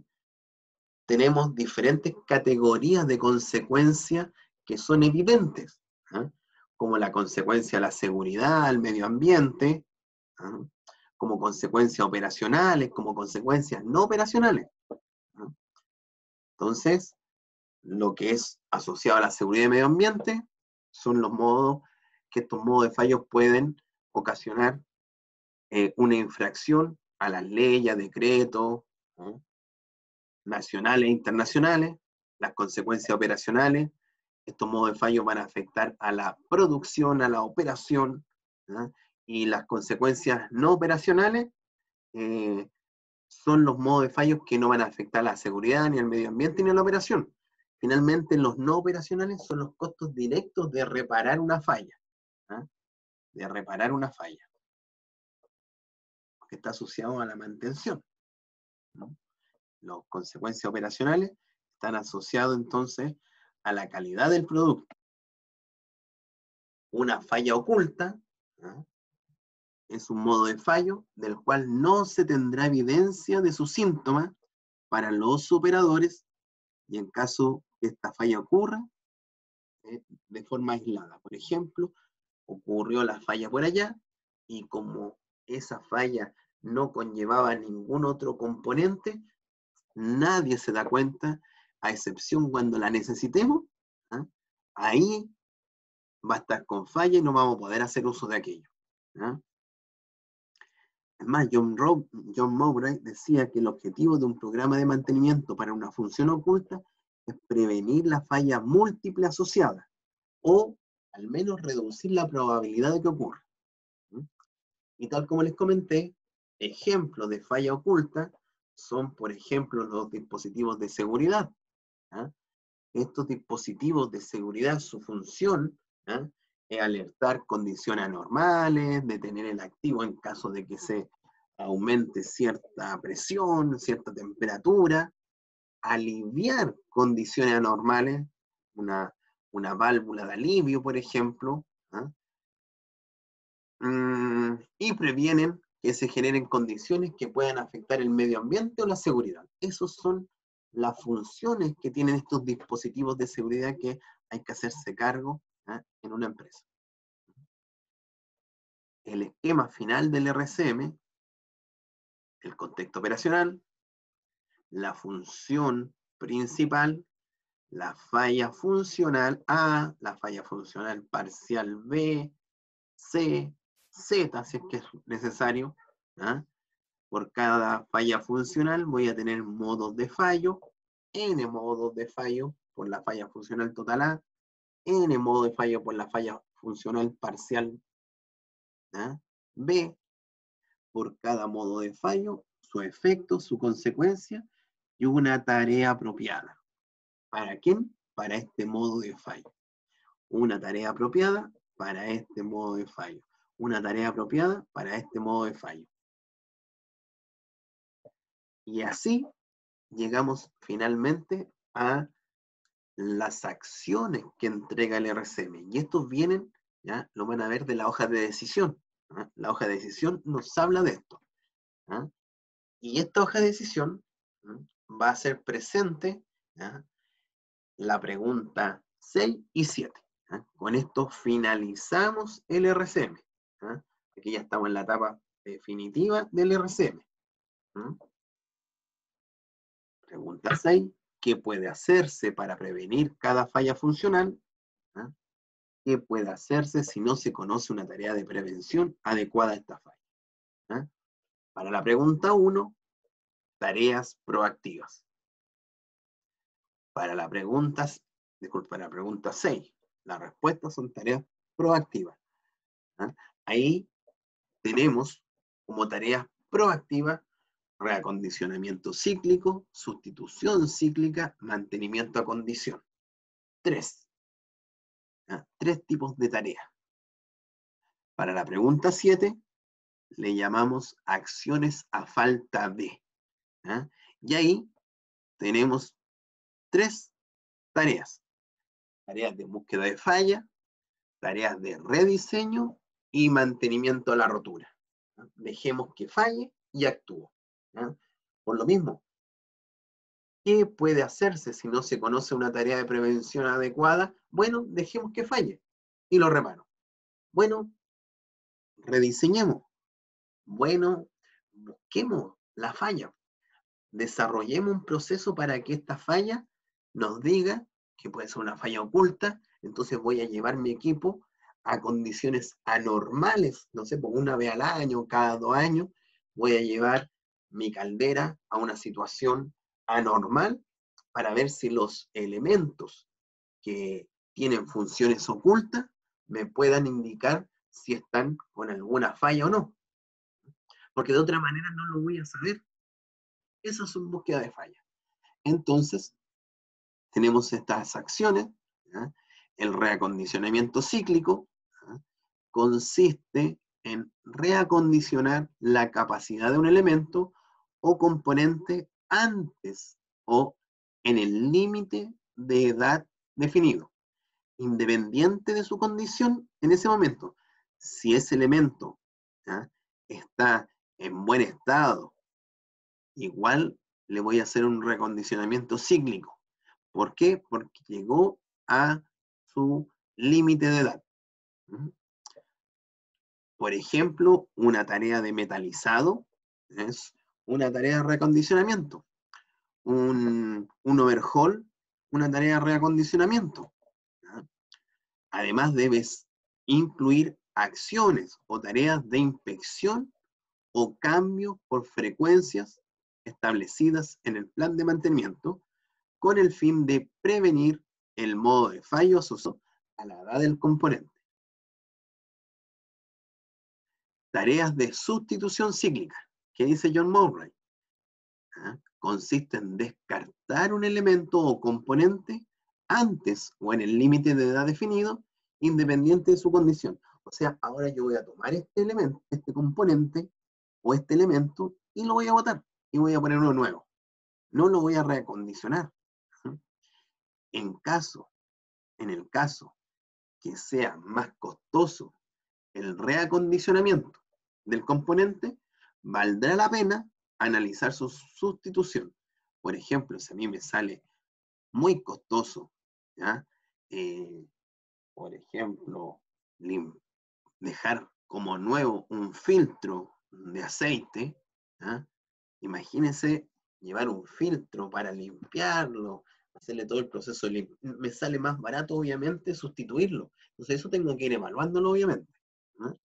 Sustitución o reacondicionamiento puede ser la misma tarea, pero dependerá del nivel de análisis. ¿A qué asocia esto? Por ejemplo, si yo estoy analizando la bomba, estoy analizando la bomba, el impulsor que está dañado va a ser una tarea de sustitución, porque voy a sacar esta y voy a cambiarla por uno nuevo. Pero si estoy analizando ¿ya? por componente, ¿ya? voy a tomar este, este componente y voy a decir, no, pues este lo voy a recondicionar. Ahora, para que el equipo siga funcionando, igual vamos a poner uno nuevo, pero estoy analizando según los niveles ¿ya? de análisis, según los niveles ¿ya? que hablamos en algún momento, los niveles de intervención. Elemento, componente, subsistema, sistema. Entonces, por lo mismo te dice, dependiendo del nivel que tú estés, si estás analizando toda la bomba, bueno, el cambio de ese impulsor o el trabajo del impulsor va a ser una sustitución. Pero si estamos en un nivel más bajo, estamos analizando el elemento, a esto le vamos a hacer una tarea de recondicionamiento. Porque si lo podemos, todavía está en condiciones. Obviamente, ojo, algunas ya no nos va a dar para más, pero hay, hay tareas, eh, hay impulsores que sí, mediante eh, trabajo eh, de reacondicionamiento, lo podemos llevar como nuevo, dejarlo como nuevo. Otra tarea proactiva, que es la última, son las tareas a condición.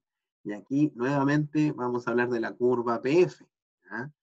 Eh, las tareas a condición consiste en chequear si hay fallas potenciales, si hay fallas potenciales, para que se pueda actuar para prevenir la falla funcional o evitar la consecuencia de una falla funcional. Se debe definir una condición de falla potencial, debe comprender el intervalo PF, recuerda el intervalo PF, que lo vimos hace unas semanas atrás.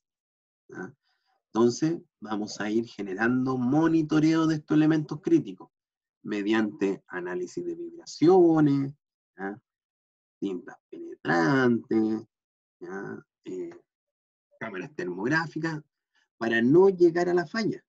Tengo que estar acá, donde todavía tengo una falla potencial, donde todavía no he pasado a una falla funcional. Entonces, las tareas proactivas asociadas a las tareas a condición, recuerden que tareas proactivas, sustitución cíclica, ¿ah? reacondicionamiento cíclico y tareas de condición están todas dentro de las tareas proactivas. Y la tarea de condición me busca, me trata de definir la condición para decir que estoy, que estoy frente a una falla potencial. Y eso, muchachos, con los años yo voy a ir generando estos rangos para saber cuándo mi equipo está en una falla potencial o no. O voy a tener que invertir mucho dinero para contratar a una empresa externa que me haga ese trabajo. O voy a tener que llevar a, mis trabajadores a ese nivel, certificándolos, entregándole la instrumentación requerida, los equipos requeridos para tal efecto. Por otro lado, para la pregunta 7, recuerden que estas primeras, las tareas proactivas eran para la pregunta 6, para la pregunta 7, tendríamos tres opciones. Las tareas cíclicas de búsqueda de falla consiste en chequear una función oculta a intervalos regulares para ver si ha fallado o no. Por ejemplo, el sistema contra incendio, por ejemplo, una válvula de seguridad. Las tareas de búsqueda de falla se aplican con la finalidad de determinar si un activo, componente o elemento sigue cumpliendo su función principal. Estas son actividades detectivas. Vamos a detectar si sigue funcionando o no. Se aplican a funciones ocultas y sobre todo para buscar fallas ocultas. Las consideraciones que hay que tener. ¿ah? Tenemos que chequear el sistema de protección completo. Tratar tratar de no perturbarlo, pero muchas veces no me va a quedar otra que hacerlo funcionar. A lo mejor voy a tener que hacer funcionar el sistema contra incendio una vez al año. Pero ojo, ¿usted qué va a hacer ahí?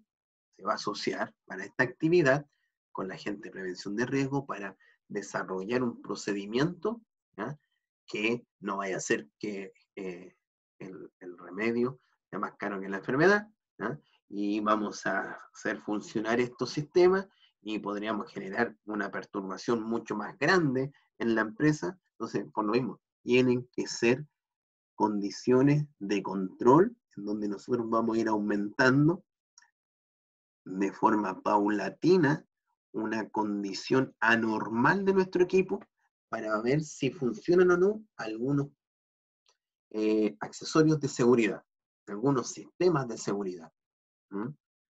Tenemos que manejar el riesgo. Ahí, ojo muchachos, ahí es importante que en su procedimiento tengan todas las condiciones asociadas, las consideraciones asociadas a la seguridad. Y tener clara la frecuencia. Ni se le ocurra que actividad mm, se va a hacer todos los días. Se tienen que hacer a intervalos, pero obviamente a intervalos regulares que no afecten la producción pero también que mantenga una confiabilidad del equipo. Entonces ahí ya hablé de confiabilidad. Entonces, si usted tiene la confiabilidad, por ejemplo, usted sabe que la confiabilidad a, a las 8.760 horas, la confiabilidad del 95%, bueno, es una confiabilidad excelente. ¿Cuál es la confiabilidad a las 16.000 horas. Y ahí me dice, no, la confiabilidad es del 50%, muy baja. Bueno, entonces veamos cuándo llegamos al 90%, porque es una confiabilidad buena para un sistema de seguridad. ¿Por qué? Por las políticas de la empresa. Ah, profe, nos da que el 90% se cumple a las 10.000 horas. Bueno, cada 10.000 horas nosotros vamos a aplicar estas actividades. Y así, muchachos, puede defender en un trabajo de título el por qué está haciendo esa frecuencia. Ahí tiene un buen indicador para decir, bueno, la actividad de búsqueda de falla va a ser cada 10.000 horas o cada 10.000 kilómetros, independiente del equipo que estemos eh, analizando. Sin embargo, si la falla es evidente y no afecta a la seguridad ni al medio ambiente, o si es oculta y la falla múltiple no afecta la seguridad ni el medio ambiente, entonces la acción inicial a falta de, como resultado, es no realizar ningún mantenimiento programado. Y así va a quedar en la hoja de decisión. Vamos a ver que abajito dice ningún mantenimiento programado. ¿Qué significa eso? A la rotura. Dejemos que el equipo, que el componente falle, que ese modo de fallo hace de una falla potencial a una falla parcial hasta la falla total. Este tipo de acción, en este tipo de acción, dejaremos que el activo pierda su función principal. Nosotros los vamos a llevar a que pierda su función principal. Pero nos dimos cuenta de que cuando ocurre la falla de este elemento, no me afecta la producción, no me afecta, por ejemplo, esta sala de compresores. A lo mejor tengo ocho compresores. Y si falla uno, me da lo mismo, tengo siete más que están en funcionamiento y así, eh, además es un sistema que presta eh, de apoyo a los demás, entonces tengo que ver bien el contexto, tengo que ver bien el contexto operacional, tengo que ver cómo se relaciona este equipo eh, frente al otro equipo. Ahora, si la falla de este equipo me afecta la seguridad, ni por nada trabajar en un mantenimiento, eh, no realizar ningún mantenimiento programado. O sea, esto no lo puede desarrollar. Si me afecta el medio ambiente, si me afecta la seguridad, si me afecta la producción, la calidad, ¿ah? descartamos de inmediato esto. Entonces, tal como comentaba, en este tipo de acción dejaremos que el activo pierda su función principal, o sea, que se active la falla funcional, recordando que esta falla no afecte la seguridad ni al medio ambiente o que el costo de la falla sea menor que los beneficios, tanto operacionales como no operacionales. por ejemplo, acá un, refrigerador. Eh, dentro de una planta, ¿quién se va a preocupar ah, de esto? No dejamos que falle. Finalmente, como última acción, a falta de, está la tarea de rediseño. Entonces teníamos acciones proactivas y acciones a falta de, y una de las tareas asociadas a las acciones a falta de es la tarea de rediseño incluye una modificación en la especificación de un componente. Ojo, cuando uno escucha rediseño, uno dice, ah, tengo que cambiar, el, tomar el plano y cambiar algún elemento de este plano y, generarlo de nuevo. No solamente es eso, ¿ah? sino que también, ¿ah? tal como indica acá, que incluye la modificación de la especificación de un componente el agregado de un elemento nuevo, la sustitución de una máquina entera por una marca de otro, por otra marca, por ejemplo, o tipo diferente, o cambiar la máquina de lugar, todas esas incluye un rediseño.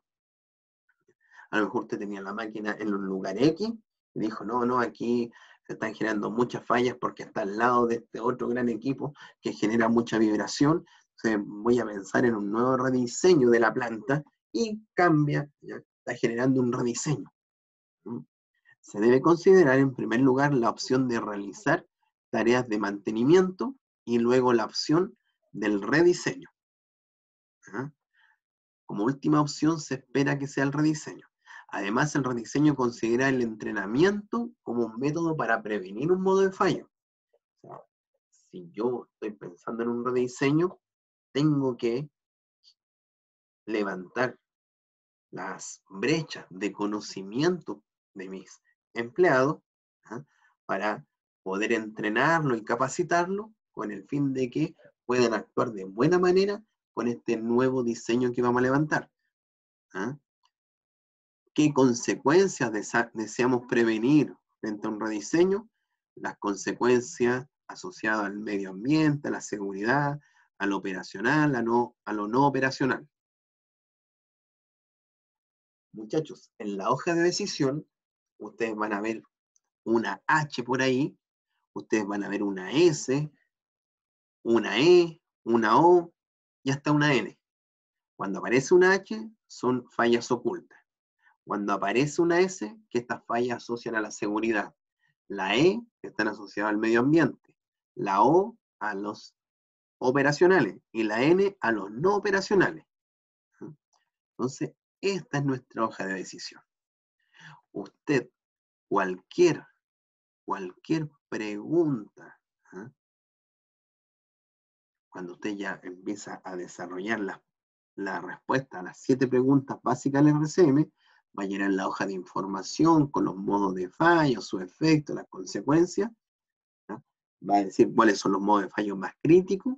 Y a los más críticos usted va a tomar ese modo de fallo y lo primero que va a preguntar va a ser esto. ¿ah? Dice, ¿será evidente a los operarios la pérdida de función causada por este modo de fallo? ¿Ah? Actuando por sí sola en condiciones normales, si usted dice que sí, que es evidente de que va, que el operador va a detectar esa falla, ese modo de fallo, usted se pasa acá, a una pregunta asociada a la seguridad, por eso es la S. En caso de que su respuesta sea no, significa que no es una falla evidente, usted va a preguntar por H1. Y H1 nos habla si es técnicamente factible y merece la pena analizar una tarea de condición.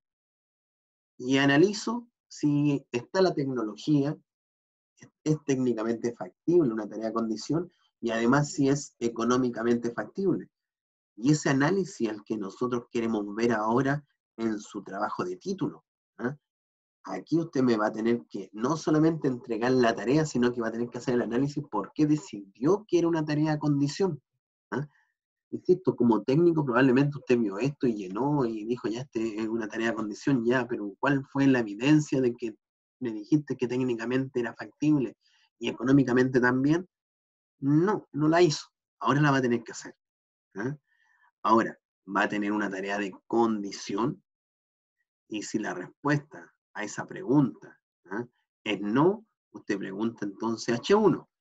Y ahí te dice, ¿es técnicamente factible, merece la pena recondicionamiento cíclico? Sí.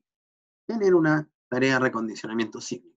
Es más, usted la redacta y va a escribir ahí, tarea de recondicionamiento cíclico, dos puntos, eh, trabajo de metalizado al eje cada dos años.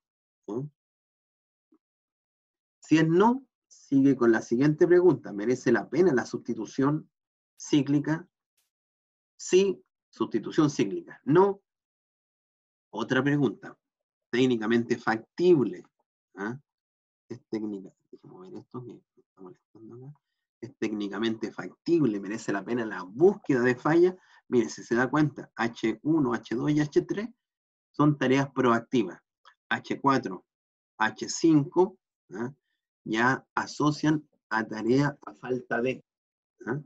A falta de, tendríamos entonces una búsqueda de falla, un rediseño, ningún mantenimiento programado.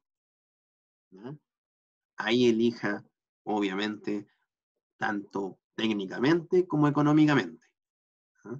Si la respuesta ahí arriba hubiese sido que si era evidente, va a ser la pregunta social a seguridad. Por lo mismo, si es sí, si afecta la seguridad, usted baja ahora por el S1, S2 y S3. Y S1, S2 y S3 están asociados. H1, una tarea condición. S1, tarea condición. O1, tarea condición. N1, tarea condición. Todos los dos todos los dos, por ejemplo, H2, S2, O2 y N2, tarea recondicionamiento, recondicionamiento, recondicionamiento, recondicionamiento. Todo lo H3, sustitución, sustitución, sustitución, sustitución. ¿ah? Recuerde, H está asociado a una falla oculta. Si es evidente o no es evidente. Seguridad, medio ambiente, operacionales no operacionales.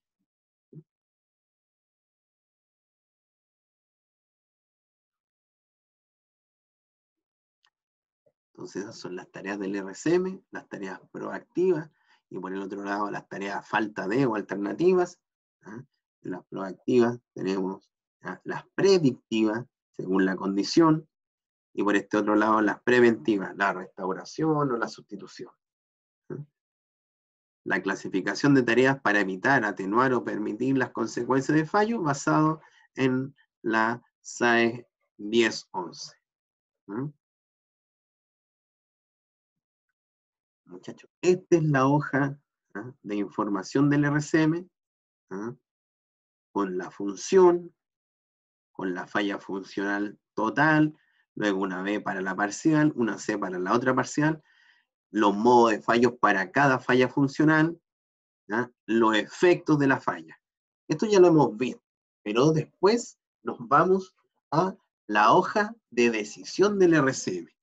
Y aquí está. Por ejemplo, si usted quiere anotar ¿ah? la primera función, usted dice, ah, voy a hablar de la función número uno. Espera que quede muy grueso ahí. Deje borrar esta. ¿ah? Ahí va a anotar la función 1, la falla funcional B, por ejemplo, y el modo de fallo 1. Después va a decir la, la función 1, la falla funcional total y el modo de fallo 3. Usted lo va a tener ordenadito, ¿ya? Por criticidad. Ahí lo estoy ordenando. ¿Cómo le quedó por criticidad? Porque usted, antes de llegar acá, usted aquí generó la severidad, la ocurrencia y la detección y trabajó con el RPN. Posteriormente, va haciendo las preguntas en la hoja de decisión. H, S, E, O. Oculta, seguridad, medio ambiente, operación, no operacionales.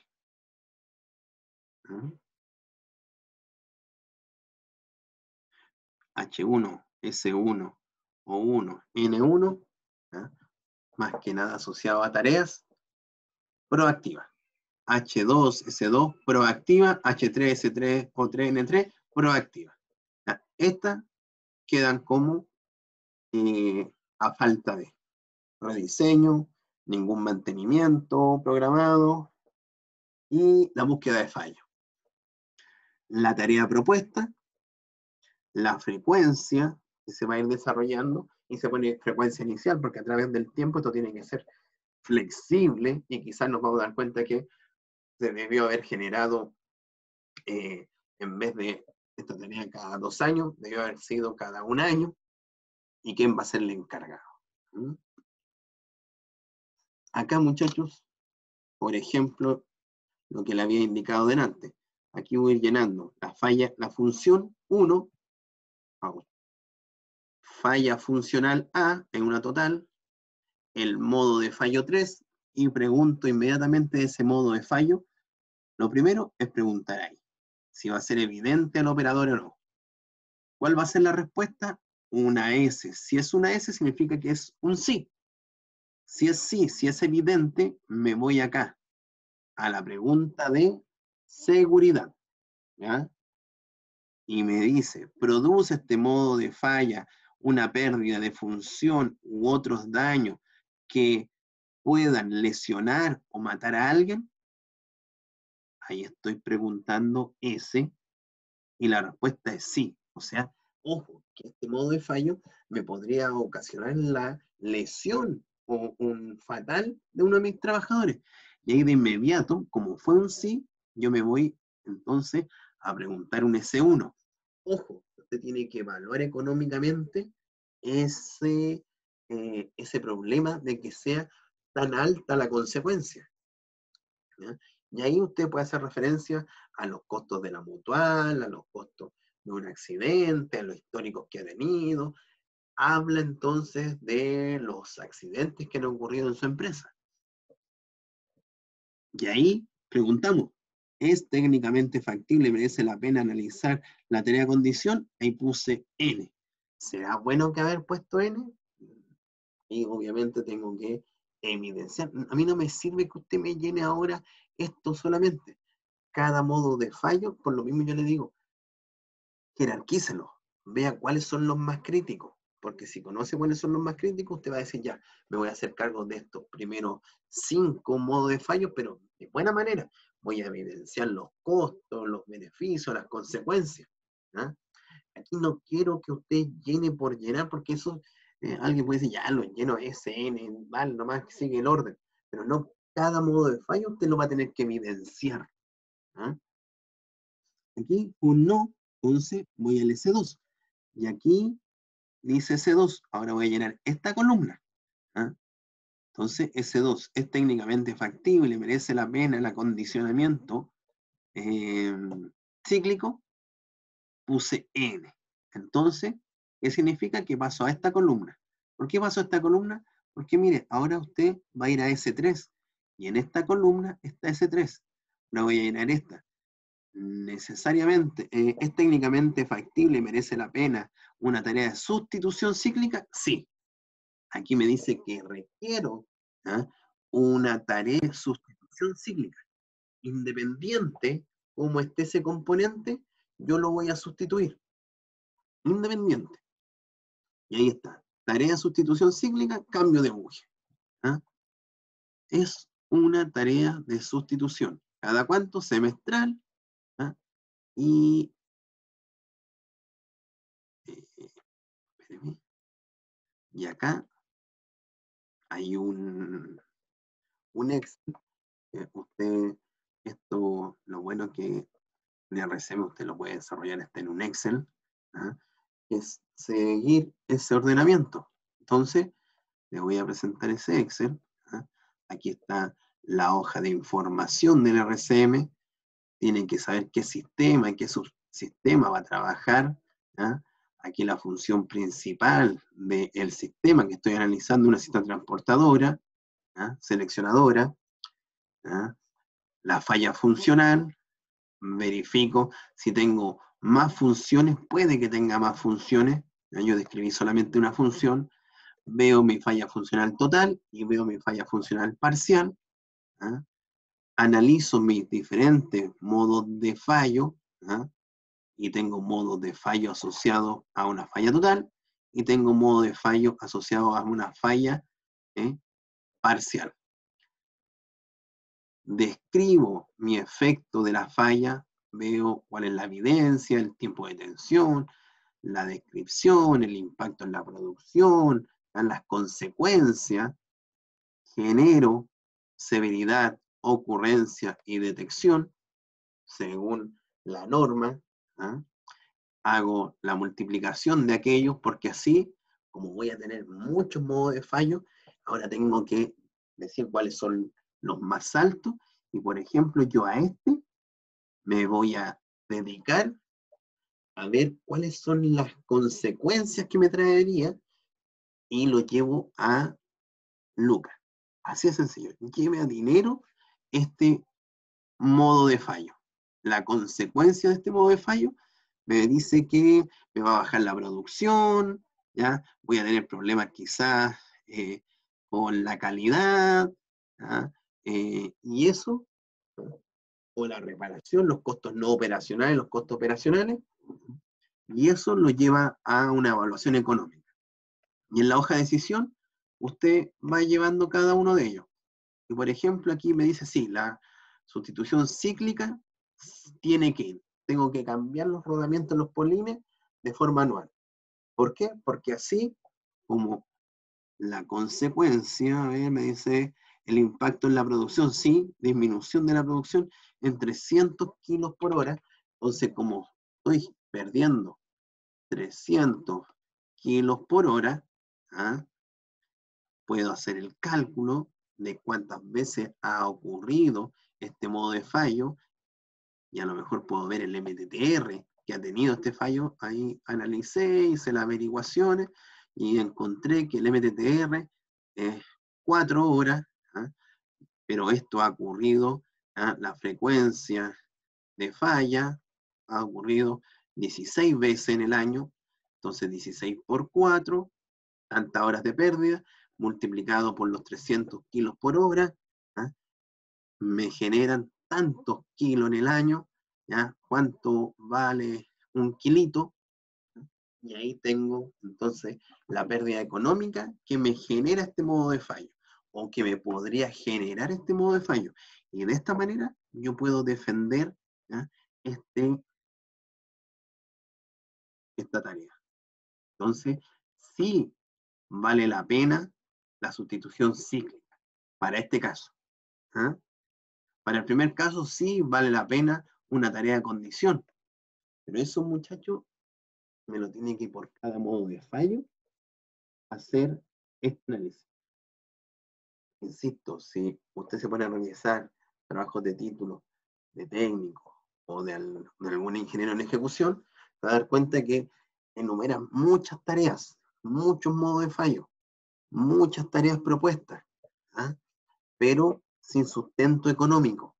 No hay algo que me diga, ah, aquí el, estudiante hizo un análisis económico y detalló la importancia de generar estas actividades, porque envió los costos y los beneficios. ¿ah? Entonces, por ejemplo, para el próximo certamen, eh, el trabajo nosotros con Andrés le vamos a decir, mire, usted tiene este proceso productivo, este proceso, este proceso productivo tiene estos equipos que han fallado todas estas veces, con todo esto MTTR, con todo este tiempo fuera de servicio, usted va a elegir el equipo más crítico, luego usted va a poder elegir el componente más crítico y va a desarrollar un RCM. Podría tomar esta misma tablita y hacerla en su trabajo, que sería el último certamen. Más que trabajo, va a ser el certamen. Nuevamente va a ser un trabajo en grupo, y ahí probablemente vamos a estar ese día con el grupo A y al otro día un grupo B, con diferente equipo, ya que son buenos para pasarse información de un grupo a otro. Vamos a generar ahí un, trabajo, por ejemplo, en donde en un grupo el equipo más crítico sea el equipo B y en el, y el otro paralelo va a ser el equipo C. Independiente de eso, usted va a desarrollar entonces un registro en la hoja de información. Aquí está la hoja de información. Y acá va a estar la hoja de decisión. Y ese sería como para finalizar ¿ah? el semestre. Entonces, ustedes, de todas maneras, yo voy a pausar la grabación.